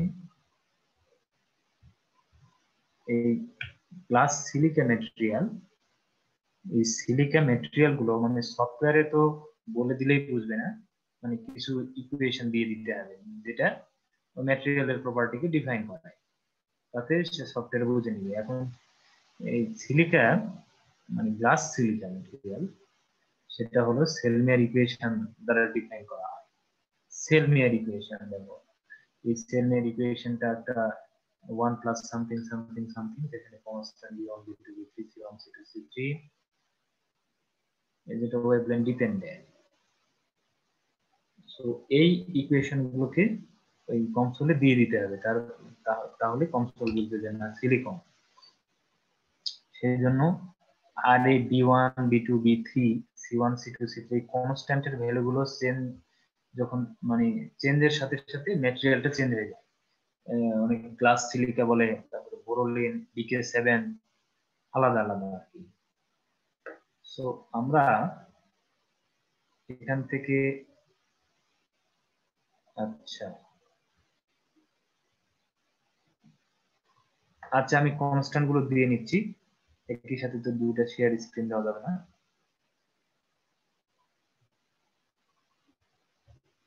আমি দিয়ে দিচ্ছি, তারপর তোমাদেরকে দেখাচ্ছি। B one B two B three C one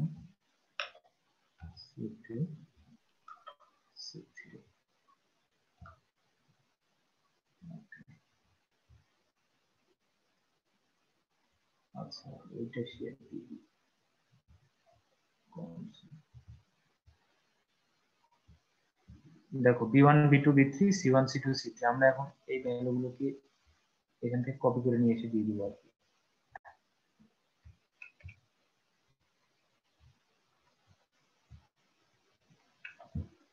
B one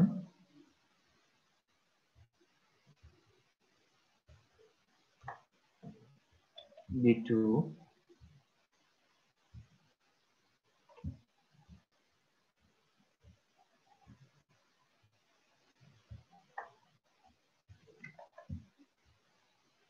B3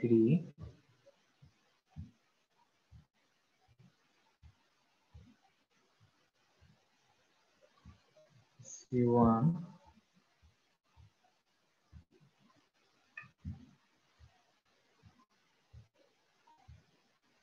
এই এই দেখো সেলমের ইকুয়েশনটাকে আমি কনসোলে যেভাবে লেখা যায় লিখে কনসোলটা বুঝবে, সেইভাবে লিখে রেখেছি এখানে।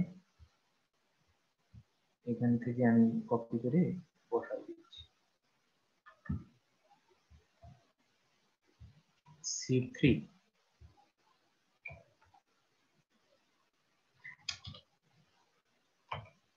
n. Refractive index Selmer equation দেখো, square root of 1 plus b1 lambda square by lambda square minus c1 এই লিখে রেখেছি এখানে ইকুয়েশনটা কপি করে এখানে দিচ্ছি। দেখো ইরোর ধরেছে ইরোর ধরার কারণ হচ্ছে ইকুয়েশন কিন্তু ওয়েভলেন্থ ডিপেন্ডেন্ট না? ল্যামডার মান দিতে হবে ওয়েভলেন্থ আমরা ল্যামডা কত দিব? আমরা কত থেকে কত ফ্রিকোয়েন্সি সিমুলেট করতে চাই? মানে কোন উইন্ডোতে কাজ করতে চাই সেটার উপর ডিপেন্ড করছে। অপটিক্যাল উইন্ডো হচ্ছে first window second window third window data transmission কমিউনিকেশনের ক্ষেত্রে third window centre wavelength use করা হয়।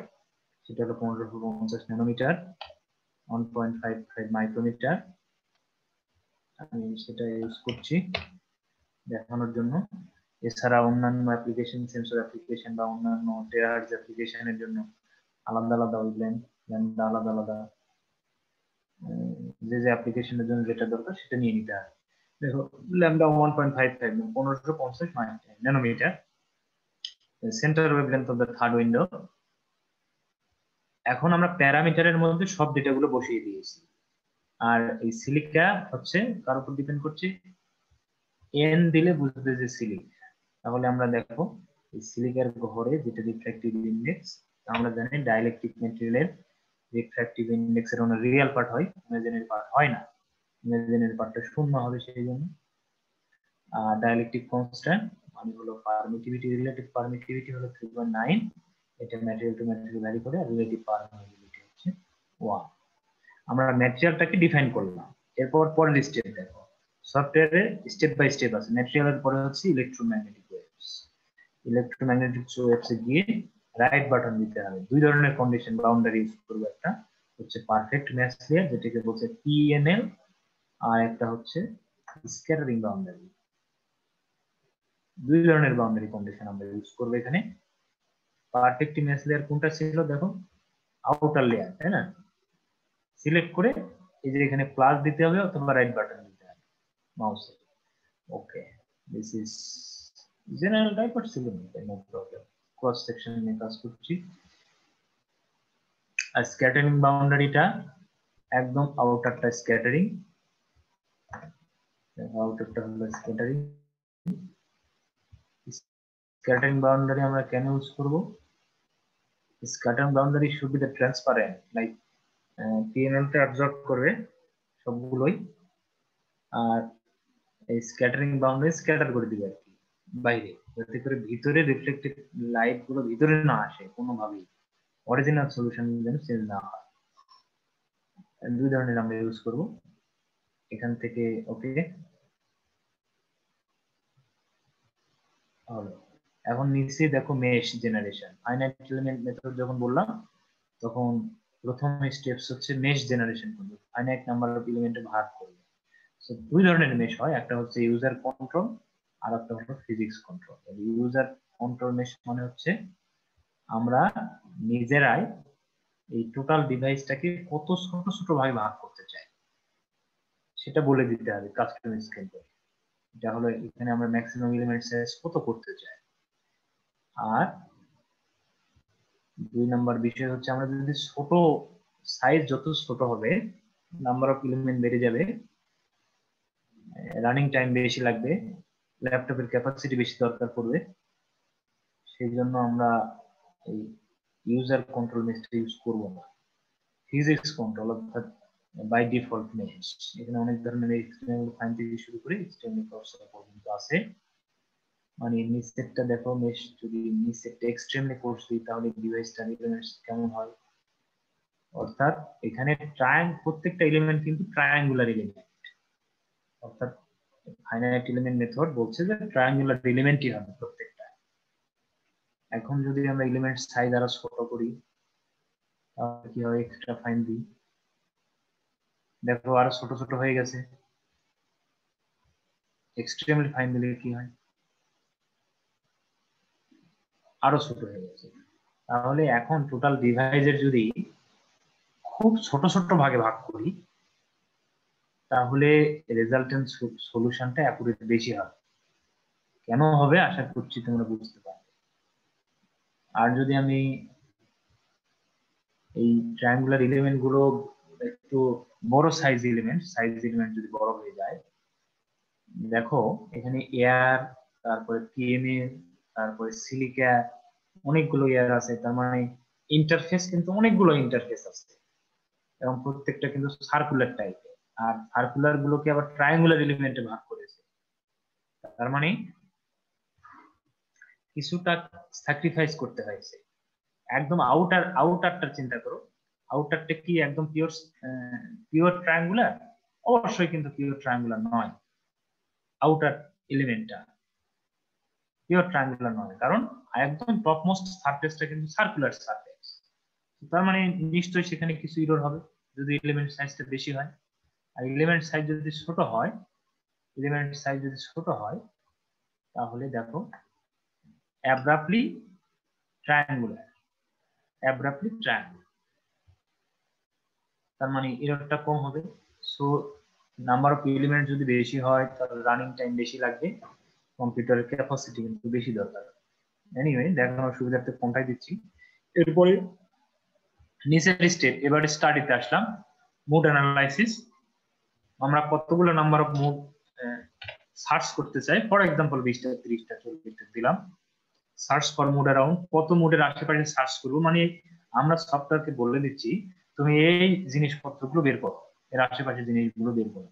সো আমাদের ইউজার মানে অ্যাপ্লিকেশন ডিপেন্ডেন্ট কোনটা দরকার পড়বে সার্চের জন্য? রিসার্চ করতে গেলে বোঝা যাবে। ফর এক্সাম্পল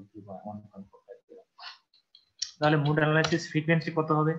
আমরা ল্যামডা দিয়েছি ফ্রিকোয়েন্সি এফ সমান সমান সি সমান সমান এফ ল্যামডা তাহলে ল্যামডা হচ্ছে C by L sorry frequency F সমান সমান সি বাই এল আর এখানে বাই ডিফল্ট হচ্ছে সি এস টি এটা হলো লাইট ভেলোসিটি এটা বাই ডিফল্ট সফটওয়্যারে এটা ভেরিয়েবল আকারে আছে সি কনস্ট্যান্ট বাই এ আমরা ফ্রিকোয়েন্সিটা দিয়ে দিলাম এরপর দেখো স্টাডিতে গিয়ে রাইট বাটন দিয়ে কম্পিউট দিতে হবে মানে এখন সিমুলেট হচ্ছে।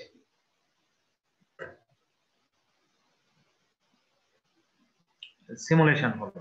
মানে একটা কিছু পেলাম, কিছু একটা পেলাম। এখন কি পেলাম? সেটা বোঝার জন্য দেখো রেজাল্ট সেকশনে এসেছি। রেজাল্ট সেকশন রেজাল্ট সেকশনের মধ্যে ইলেকট্রিক ফিল্ড ইলেকট্রিক ফিল্ডের মধ্যে আমরা পাবো সারফেস আর ইলেকট্রিক ফিল্ডে একটা রাইট বাটন দিয়ে অ্যারো সারফেস নিতে হবে। অ্যারো সারফেস নিলাম এই সারফেসে গিয়ে দেখো এখানে গিয়ে solution one solution on effective mode আমরা এখান থেকে খুঁজে বের করব কোন মোডটা আমাদের দরকার। আমরা ইলেকট্রোম্যাগনেটিক ফিল্ডে পড়েছি না mode first order mode second order mode certain কিছু কন্ডিশন স্যাটিসফাই করলে সেটা ফার্স্ট অর্ডার মোড অনেক সময় TM zero one P one one পড়েছো না? আশা করছি পড়েছো। এই, কেউ পড়েছো? স্যার পড়েছিলাম মনে হয় স্যার কোর্স তো ইয়া ফিল্ড কোর্সটা ছিল আর কি। হ্যাঁ হ্যাঁ হ্যাঁ মানে এরকম কিছু জিনিস দেখেছিলে না?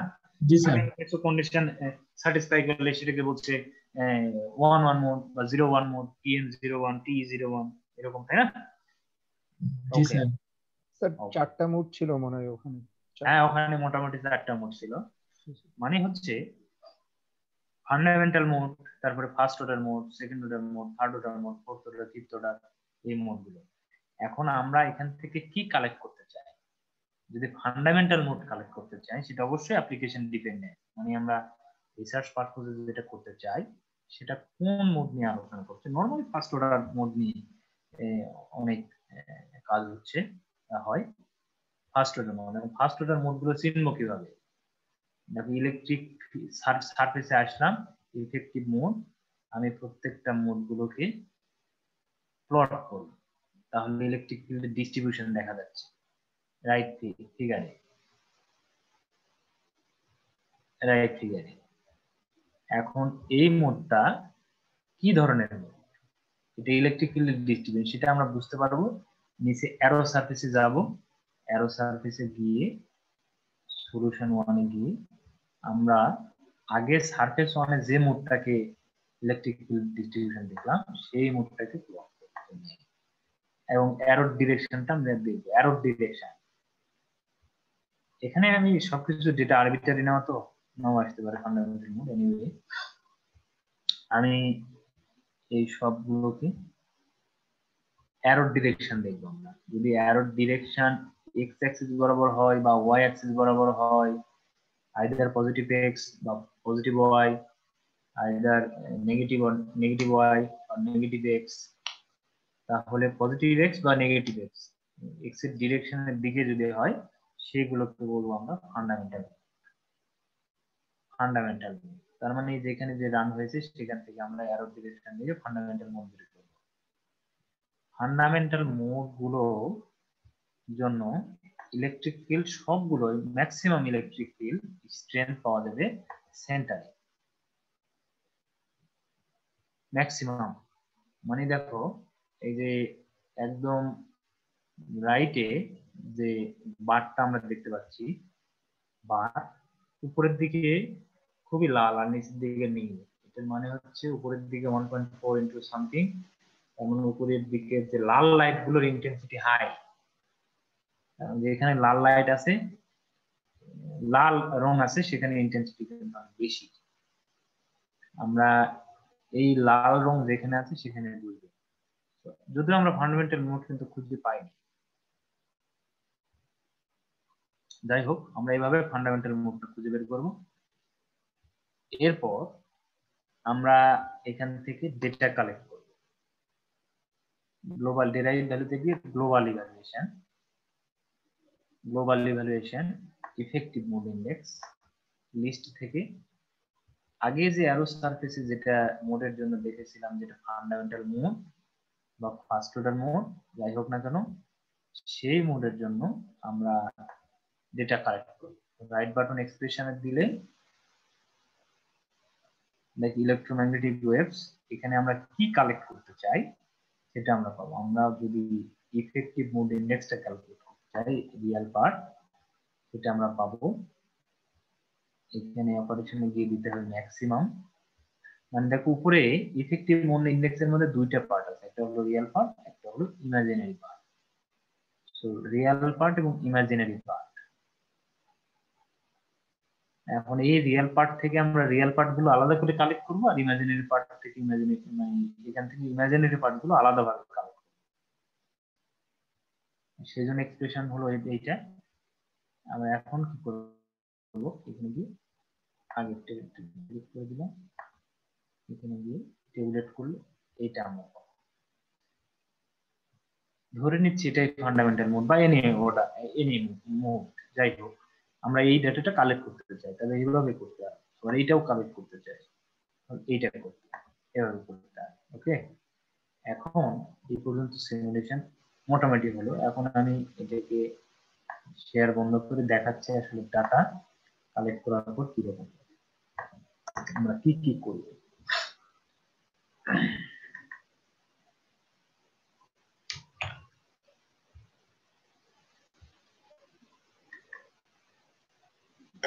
দেখো আমরা মোড অ্যানালাইসিস করছি। এটা হলো ল্যামডা ওয়েভলেন্থ এটা হলো অ্যারোর ডিরেকশন এক্সের দিকে। তার মানে এক্স পোলারাইজেশন বলছে। ইলেকট্রিক ফিল্ডের ওরিয়েন্টেশন এক্স ডিরেকশন এই এটার মধ্যে কি কি থাকবে? রিয়েল পার্ট থাকবে। আর ইমাজিনারি পার্ট থাকবে আবার ওয়াই এর জন্য রিয়েল পার্ট ইমাজিনারি পার্ট তার মানে একটা ল্যামডা ওয়ান আমরা যেটা রান করলাম for example one point five five একটার জন্য একটা ডেটা পাবো একটা ডেটা পাবো একটা এই একটা, চারটা ডেটা পাবো। অর্থাৎ যদি আমরা ফান্ডামেন্টাল মোড শুরু নিয়ে থাকি, এরপর আমরা ল্যামডাটাকে চেঞ্জ করব ল্যামডা টু এভাবে আবার ডাটা নিব। Lambda three lambda four lambda five or so এখন এই ডেটাগুলো এক্সট্রাক্ট করার পর আমাদের প্রসেসিং করতে হবে। সেই প্রসেসিংটা কীরকম হবে? ডিপেন্ড করছে আমি কোন অ্যাপ্লিকেশনে আমার ফাইবার ডিজাইন করেছি কনসোলে সেটাকে ইউজ করতে চাই।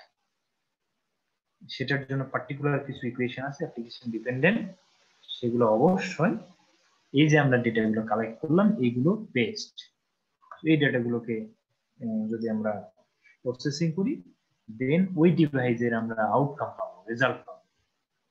এই পর্যন্ত আমাদের কাজ। এখন আমরা দেখলাম, আমরা যে দেখলাম যে ল্যামডাটাকে চেঞ্জ করে অনেক ডেটা নিতে হচ্ছে, আমরা তো ম্যানুয়ালি একটার জন্য ডেটা নিলাম। আমরা কীভাবে অ্যাট এ টাইম যদি আমরা এটা তোমরা কি দেখতে পাচ্ছ কিনা? দেখতে পাচ্ছ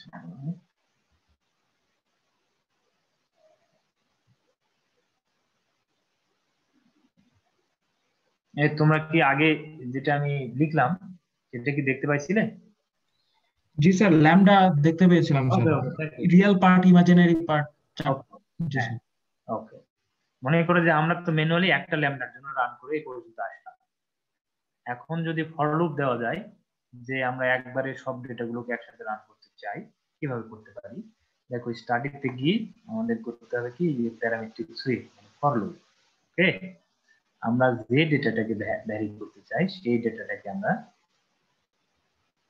ভ্যারি করা এল মানে ল্যামডাটাকে আমরা চেঞ্জ করব।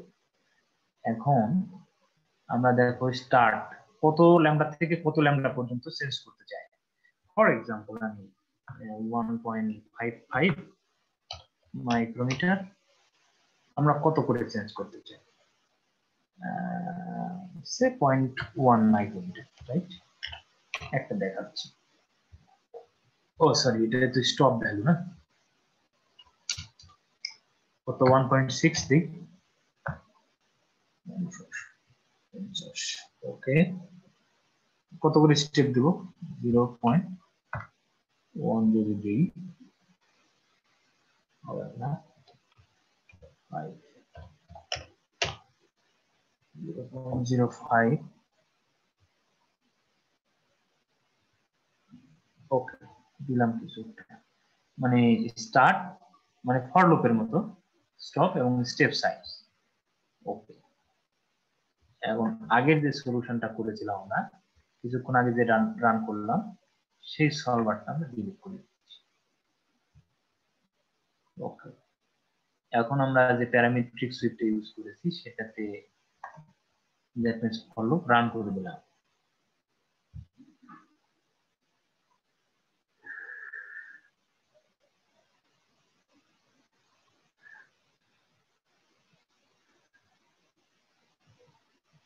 ওকে দেখো, আমরা প্যারামেট্রিক সুইচ দিয়ে রান করেছি।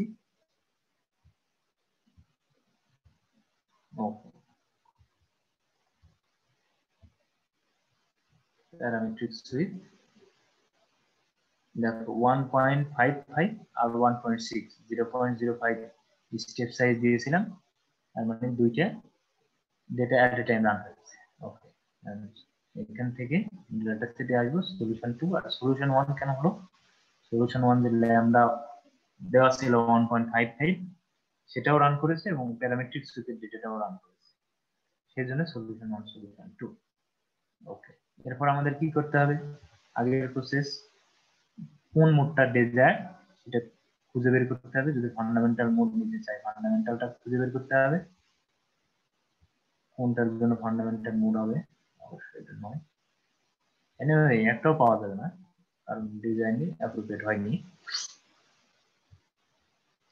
এটার মানে হচ্ছে লাইটগুলো কিন্তু কোরের মধ্য দিয়ে কম যাচ্ছে, বেশিরভাগ লাইটগুলো বাইরে দিয়ে যাচ্ছে। তার মানে ডেটা যদি ট্রান্সমিট করতে চাই, কিছু দূর যাওয়ার পর আর আউটপুটে সিগন্যাল খুঁজে পাওয়া যাবে। যেটা ক্ল্যাডিং এ চলে যাচ্ছে এয়ার হোলের মধ্যে দিয়ে, সেটা লস সেটাকে বলছে কনফাইনমেন্ট লস এনিওয়ে এই লসটা কমানোর জন্য অনেকগুলো উপায় আছে। তাদের মধ্যে একটা হচ্ছে নাম্বার অফ রিং যদি বাড়াই দিই, দুই নাম্বার অফ এয়ার হোল বাড়াইতে হবে ক্ল্যাডিং রিজিয়নে একটা পিসটাকে কমাই দিতে হবে। প্রত্যেকটা একটা রিং থেকে আরেকটা রিং এর মাঝখানে পিস কমাই দিতে হবে। এবং একই রিং এর মাঝখানে দুইটা এর হলে মাঝখানের পিসটাকেও কমাই দিতে হবে। এই কিছু জিনিসপত্র কমায় বাড়াই দিলে লসটা কমে দিবে লাইটটা কোরের মধ্যে দিয়ে কনফাইন করবে। আমরা কি করতে চাই সেটার উপর ডিপেন্ড করে প্যারামিটার তো আগেই ক্যালকুলেট করে নিব। সেই অনুযায়ী পরে আমরা কনসোলের ডিজাইন করে দেবো আরবিটারি ডিজাইন এনিওয়ে আমরা আসলাম এগেইন সার্ভিস ওয়ানে গিয়ে এরপর অ্যারো ডিরেকশনটা দেখতে হবে। আমরা সলিউশন টু তে আসি অ্যারো ডিরেকশন দেখব এখান থেকে। কোনটার জন্য অ্যারো ডিরেকশন কোন দিকে যায়? এখানে আরবিটারি দিকে গেছে মানে অবশ্যই ফান্ডামেন্টাল মুড নয়। এরপর আমাদেরকে ডাটা কালেক্ট করতে হবে ডিজাইন ভ্যালুতে গিয়ে। গ্লোবাল ইভ্যালুয়েশন আমরা যদি এটাকে রিয়াল দিয়ে নামকরণ করে রাখি মানে রিয়াল পার্ট আমরা কালেক্ট করতে চাই। দ্যাটস গুড ওকে ওকে এটা হলো রিয়াল পার্টের এক্সপ্রেশন আমরা ফর এক্সাম্পল এই ডাটা টেবিলেট করতে চাই, সেটা সিলেক্ট করে এভাবে দিতে হবে মানে এই ডাটাটা যাবে। সিমিলারলি আমরা যদি এখান ইমাজিনারি পার্টটা ক্যালকুলেট করতে চাই, আরেকটা গ্লোবাল নিতে হবে। এখান থেকে ফর এক্সাম্পল এটা ইমাজিনারি লিখে রাখতে শোনার ওকে সলিউশন টু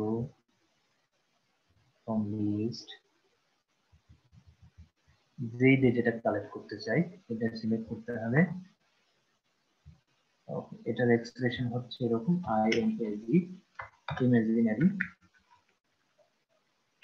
ওকে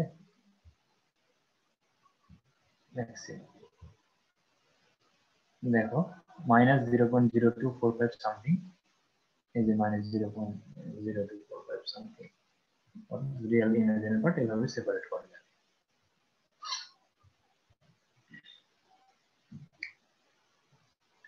এখন এখান থেকে ডেটাটা কপি করে নিই।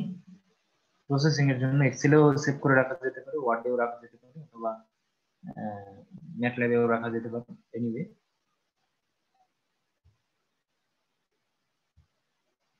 আচ্ছা ওকে আমি একটু দেখি এটাকে ফান্ডামেন্টাল মুভমেন্টে যায় কিনা। ওকে জাস্ট কমায় দিচ্ছি।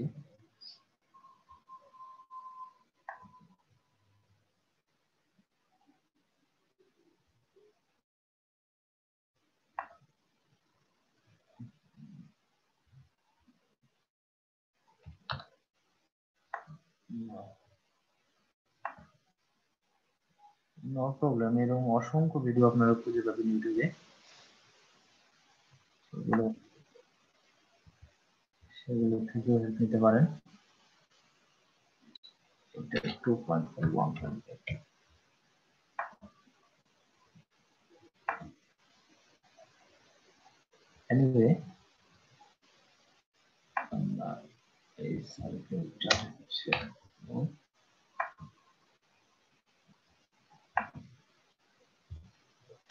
এই যে এইগুলো কিন্তু আমি আরবিটারি দিচ্ছি রেডিয়াসগুলো। এটার কিছু সাইন্টিফিক রুল আছে, প্রত্যেকটা পারফেক্ট ম্যাচ লেয়ারের উইথ কত হতে হয়? এনিওয়ে আমি দেখি এটা কি করে আগের সার্ভারগুলো পুরোপুরি ডিলিট আমাদের ছিল one point five lambda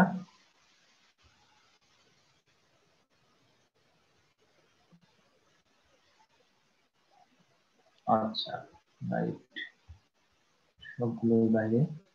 sir parametric sweep জিনিসটা কি বলেছিলেন আচ্ছা প্যারামেট্রিক সুইপ মানে হচ্ছে নরমাল ফর লুপের মতো। ও আচ্ছা স্যার জাস্ট ফর লুপ মানে স্টেপ বলে দিব স্যার আর শুরু আর শেষ বলে দিব। হ্যাঁ শুরু শেষ বলে দিলে নাম্বার অফ রেঞ্জে রান করে দিবে। বুঝতে পারছি স্যার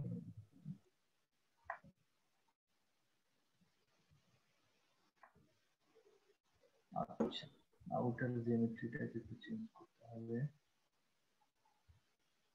এইটাকে কম দিতে হবে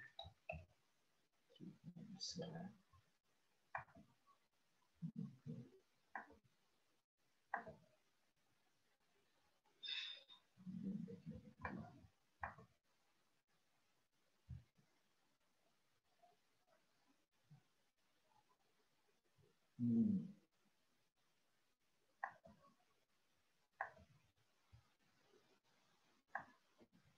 Okay.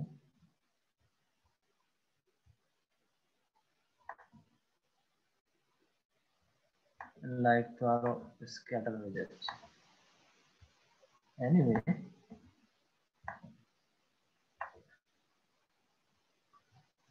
কিছুটা সেন্টারে কনফাইন হয়েছে। তারপরেও ম্যাক্সিমাম লাইট কিন্তু ক্লারিং এর মধ্যে দিয়ে যাচ্ছে। লস অনেক বেশি হবে, নিশ্চয়ই। দেখি এটা অর্নামেন্টাল মোড অবশ্যই নয়। ফোরটি ফিফথ অর্ডার মোড হতে পারে।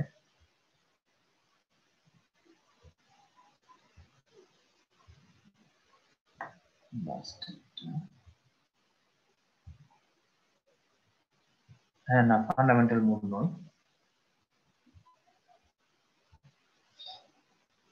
ওকে এনিওয়ে আর যেহেতু ডিজাইনটা আরবিটারি মিলানো একটু ডিফিকাল্ট তো ঠিক আছে থ্যাংক ইউ এই পর্যন্তই আজকে। যদি কোনো কোশ্চেন থাকে, এক্ষেত্রে জানার মধ্যে একটু উত্তর দেওয়ার চেষ্টা করছি। স্যার ফটোনিক ক্রিস্টাল ফাইবার আর স্যার বায়োসেন্সর স্যার এটার মধ্যে স্যার মানে রিলেশনটা কি স্যার মানে এটা থেকে স্যার বায়োসেন্সর জিনিসটা আসে স্যার এই ব্যাপারে যদি একটু বলতেন মানে রিসার্চ করতে গেলে স্যার বায়োসেন্সর টপিকটা নিয়ে মানে এটার সাথে এটার কীভাবে মানে বায়োসেন্সর জিনিসটা কীভাবে আসছে স্যার স্যার রিলেশনটা যদি স্যার একটু বলতেন। আচ্ছা মানে বেসিক্যালি জি স্যার আজকের আলোচনার বাইরের বস্তু ঠিক আছে?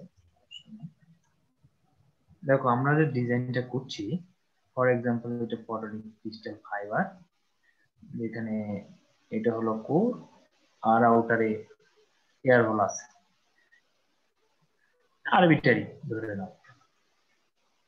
আরবিটারি ওকে সেন্সর মানে কি?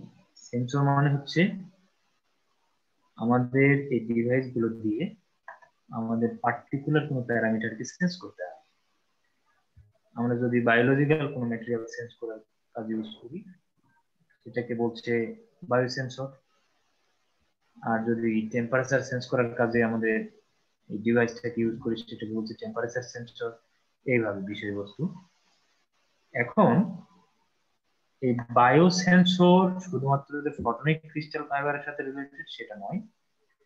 আচ্ছা লেখা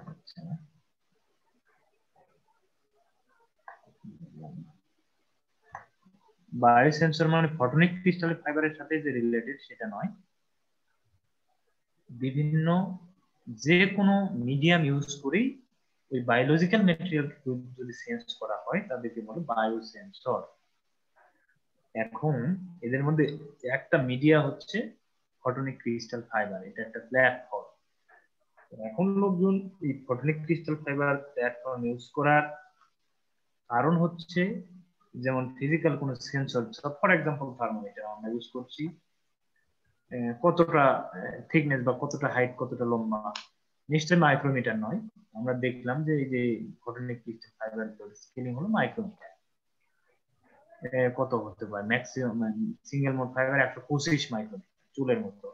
তার মানে অবভিয়াসলি এটা হলো কম্প্যাক্ট ডিভাইস ছোট হয়ে গেল সাইজ দুই নাম্বার বিষয় হচ্ছে, যেহেতু এই পিসিএফটা ফটোনিক ক্রিস্টাল ফাইবার অপটিক্যাল ফাইবারগুলো লাইট বেসড অপারেশন ইনপুটে লাইট আউটপুটেও লাইট সেই জন্য লাইটের স্পিড তো অনেক হাই এর জন্য স্পিড অফ অপারেশনটা বেশি পাওয়া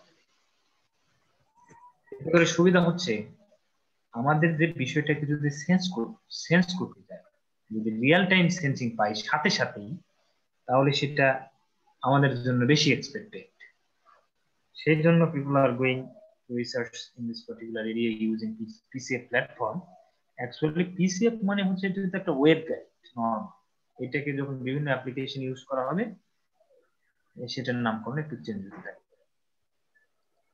বায়োসেন্সর একটা জেনেরিক নেম বায়োসেন্সর বিভিন্ন জিনিসপত্র ইউজ করেই বায়োলজিক্যাল ম্যাটেরিয়ালগুলো সেন্স করার কাজে ইউজ করা হয়। এটা হলো বায়োসেন্সর এখন বায়োসেন্সরগুলো প্রিজম বেসড হতে পারে অপটিক্যাল ফাইবার বেসড হতে পারে ফটোনিক ক্রিস্টাল ফাইবার বেসড হতে পারে। বুঝলে কিনা জি স্যার মোটামুটি স্যার ক্লিয়ার হইতে পারছি স্যার। থ্যাংক ইউ স্যার এখন কাজ কীভাবে করে সেটা ডিপেন্ড করছে কীভাবে কাজ করাতে চাও নর্মাল লেটেস্ট হচ্ছে তোমাদেরকে দেখালাম অ্যাপ্লিকেশনে প্লাজমনিক সেন্সরস কীভাবে কাজ করে? সেটা অ্যাপ্লিকেশন ডিপেন্ডেন্ট কীভাবে কাজ চাও মানে কোন এরিয়ায় জি স্যার। আজকে মূলত তোমরা যারা শুরু করবে ষোলো সিরিজ তাদের জন্য খুব বেসিক জিনিস করতে নিয়ে আসলাম। রিসার্চের বিষয়বস্তুগুলোকে আলোচনা করিনি। তোমরা নিজেরা খুঁজে খুঁজে বের করে ইউটিউবে অনেক ভিডিও পাওয়া যায়। ইন্টারনেটে খুঁজে খুঁজে অনেক কিছু পাওয়া যাবে আর কি। আশা করি কিছুটা হেল্পফুল হবে। অবশ্যই অনেক কিছু নয়।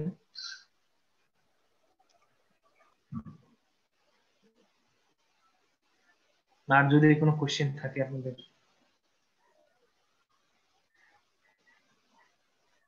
স্যার আমরা যখন ইয়াতে কনসোলে প্যারামিটারগুলো লিখতেছিলাম তো হ্যাঁ।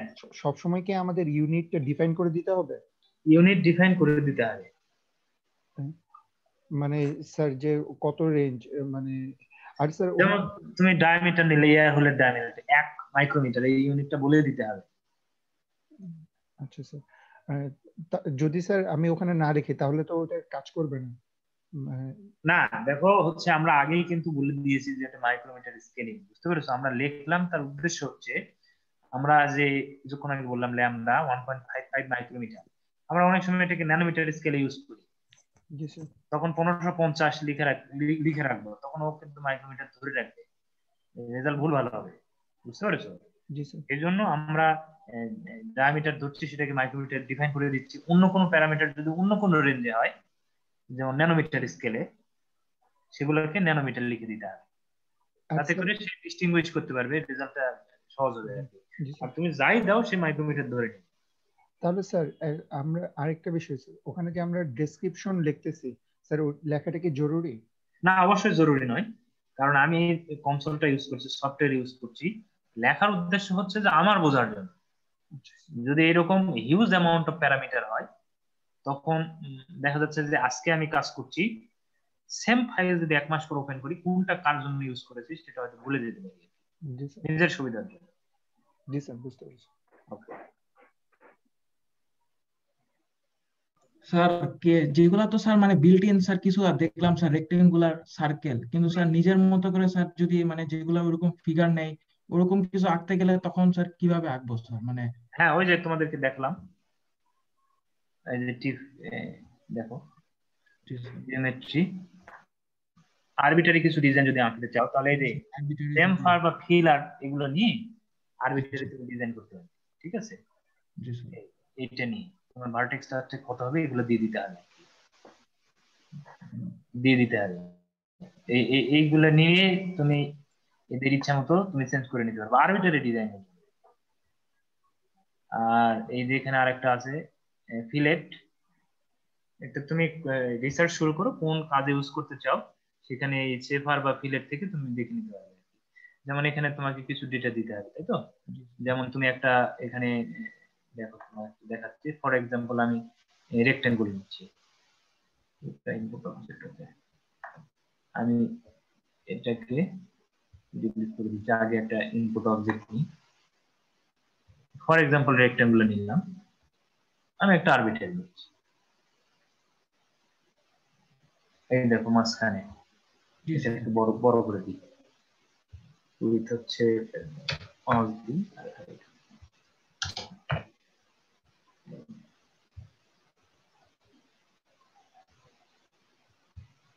ওকে এখন দেখো আমরা একটা আরবিটারি ডিজাইন করতে চাই।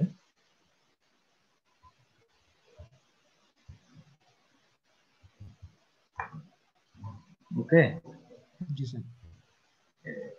রেডিয়াস হচ্ছে দেখি দিয়ে দেখি কি হয়। দেখেছ? বাঁকা হয়ে গেল আর কি। মানে আমরা কি করতে চাই? সেটার উপর ডিপেন্ড করে আমাদের তো একটা আগে থেকে প্রি প্রসেসিং থাকবে মানে ক্যালকুলেশন থাকবে। এর ধার কত হবে এর উইথ কত হবে হাইট কত হবে সে অনুযায়ী হিসাব নিকাশ করে আমরা এখান থেকে ইচ্ছা মতো চেঞ্জ করে নিতে পারি। আরেকটা কোশ্চেন স্যার এই যে স্যার হ্যাঁ। সার্কেল গুলাকে যে স্যার ডট দিয়ে চারটা ভাগে ভাগ করলেন এটা কি স্ক্যাটারিং বাউন্ডারি কন্ডিশনের কারণে? না না আমি ভাগ করি না অটোমেটিক এরকম এই যে এখান থেকে দেখো উপরের দিকে দেখো। জি চলে গেছে না? জি স্যার। এগুলো বাউন্ডারি সিলেক্ট করেছে অটোমেটিক বুঝতে পেরেছ? জি স্যার। ওগুলো ডোমেইন ওকে বলো আর কোনো কোশ্চেন আপনাদের মধ্যে কি রুয়েটের বাইরে কেউ আছেন?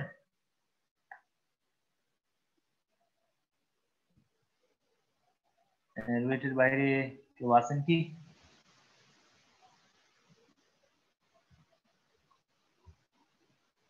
Okay chat box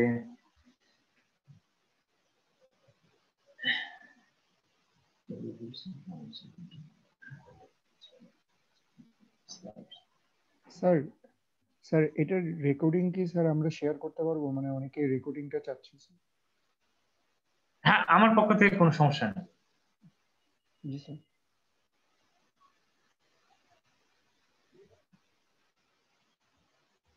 আমার পক্ষ থেকে কোনো সমস্যা নেই। আমি চ্যাট বক্সে কোনো কোশ্চেন দেখতে পাচ্ছি না।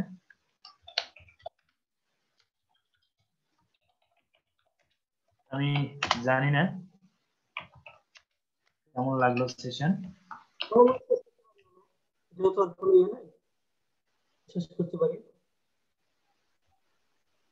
sir thank you sir session আমার এই পর্যন্তই আজকে। হ্যাঁ সেটা চলছে। ওরা যদি দু একটা ওদের জানা থাকে।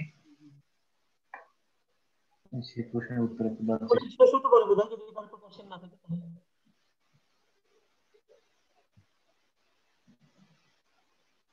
খলিল আসছো জি স্যার। জি স্যার। আর কোনো কোশ্চেন না থাকে তাহলে তো।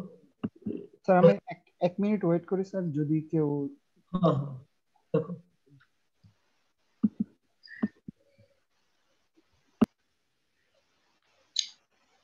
আপনারা যদি একটু ফিডব্যাক দেন তাহলে একটু সুবিধা হয়। কেমন লাগল? স্যার আরেকটা ছোট কোশ্চেন স্যার। হ্যাঁ, ডিজাইন করার পরে স্যার এর পরের স্টেপসটা কি আমাদের স্যার? মানে এই রেজাল্টগুলা নিয়ে স্যার মানে কোথায় আমাদের ক্যালকুলেশন পার্টটা স্যার? যখন আচ্ছা। করব। আমরা যে ডেটাটা ক্যালকুলেট করলাম দেখো ল্যামডা ওয়ান ওই যে একটা ইয়ে দেখালাম। Lambda one for example one point five five যে এক্স পোলারাইজেশনের জন্য রিয়েল পার্ট পেলাম ইমাজিনারি পার্ট পেলাম ওয়াই পোলারাইজেশনের জন্য রিয়েল পার্ট পেলাম ইমাজিনারি পার্ট পেলাম এই যে ডেটাগুলোকে এখন প্রি প্রসেসিং করতে হবে। আমরা কোন অ্যাপ্লিকেশন ইউজ করতে চাই? সেটার জন্য স্পেসিফিক কিছু ইকুয়েশন আছে। সেটা রিসার্চ বেসড মানে পেপারে পাওয়া যাবে আর কি পাবলিকেশনে পাওয়া যাবে।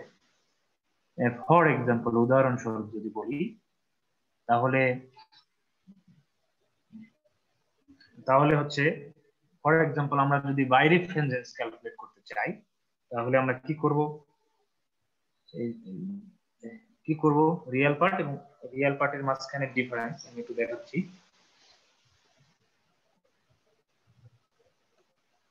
ফর এক্সাম্পল আমরা বাই রিফারেন্স ক্যালকুলেট করব।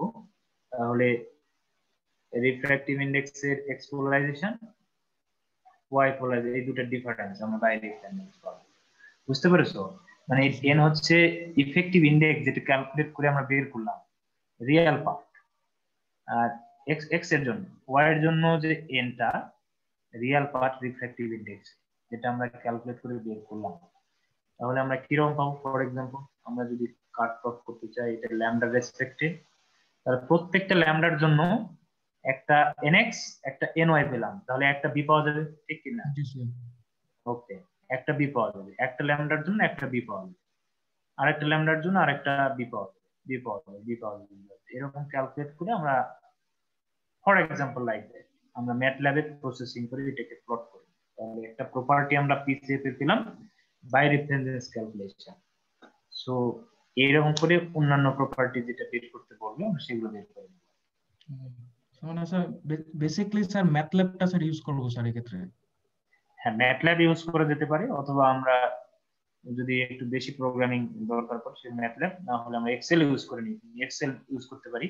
এই ছোটখাটো ক্যালকুলেশনের জন্য বিয়োগ যোগ বা হচ্ছে প্লটের ক্ষেত্রে আমরা এক্সেল ইউজ করতে পারি নো প্রবলেম জি sir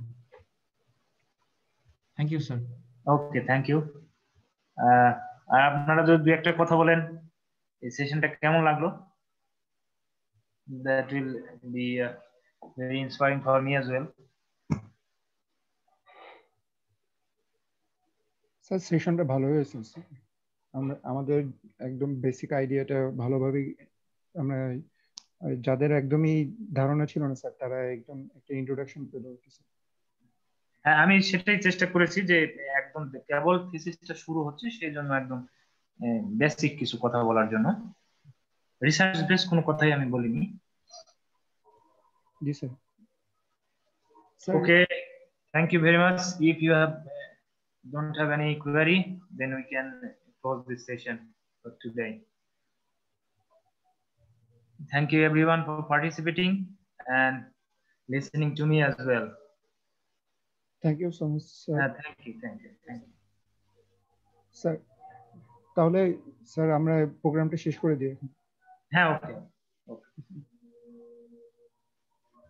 ওকে আমাদের আমাদের নেক্সট প্রোগ্রাম নেক্সট প্রোগ্রাম আগামীকালকে ম্যাথল্যাবের উপর হবে দুপুর তিনটায় আমরা আশা করি সবাই সেখানে থাকব With the permission of our Honorable Director of IICT and the chair of this workshop, I would like to close this session for today. Thank you, everyone, and hopefully you will enjoy all the session that will held uh, in up to the 10th February of this month, and different valuable speaker will join uh, join with us from different countries, USA, Australia, uh, other countries as well. And I I hopefully we'll all enjoy. And best of luck and enjoy the session. Thank you very much.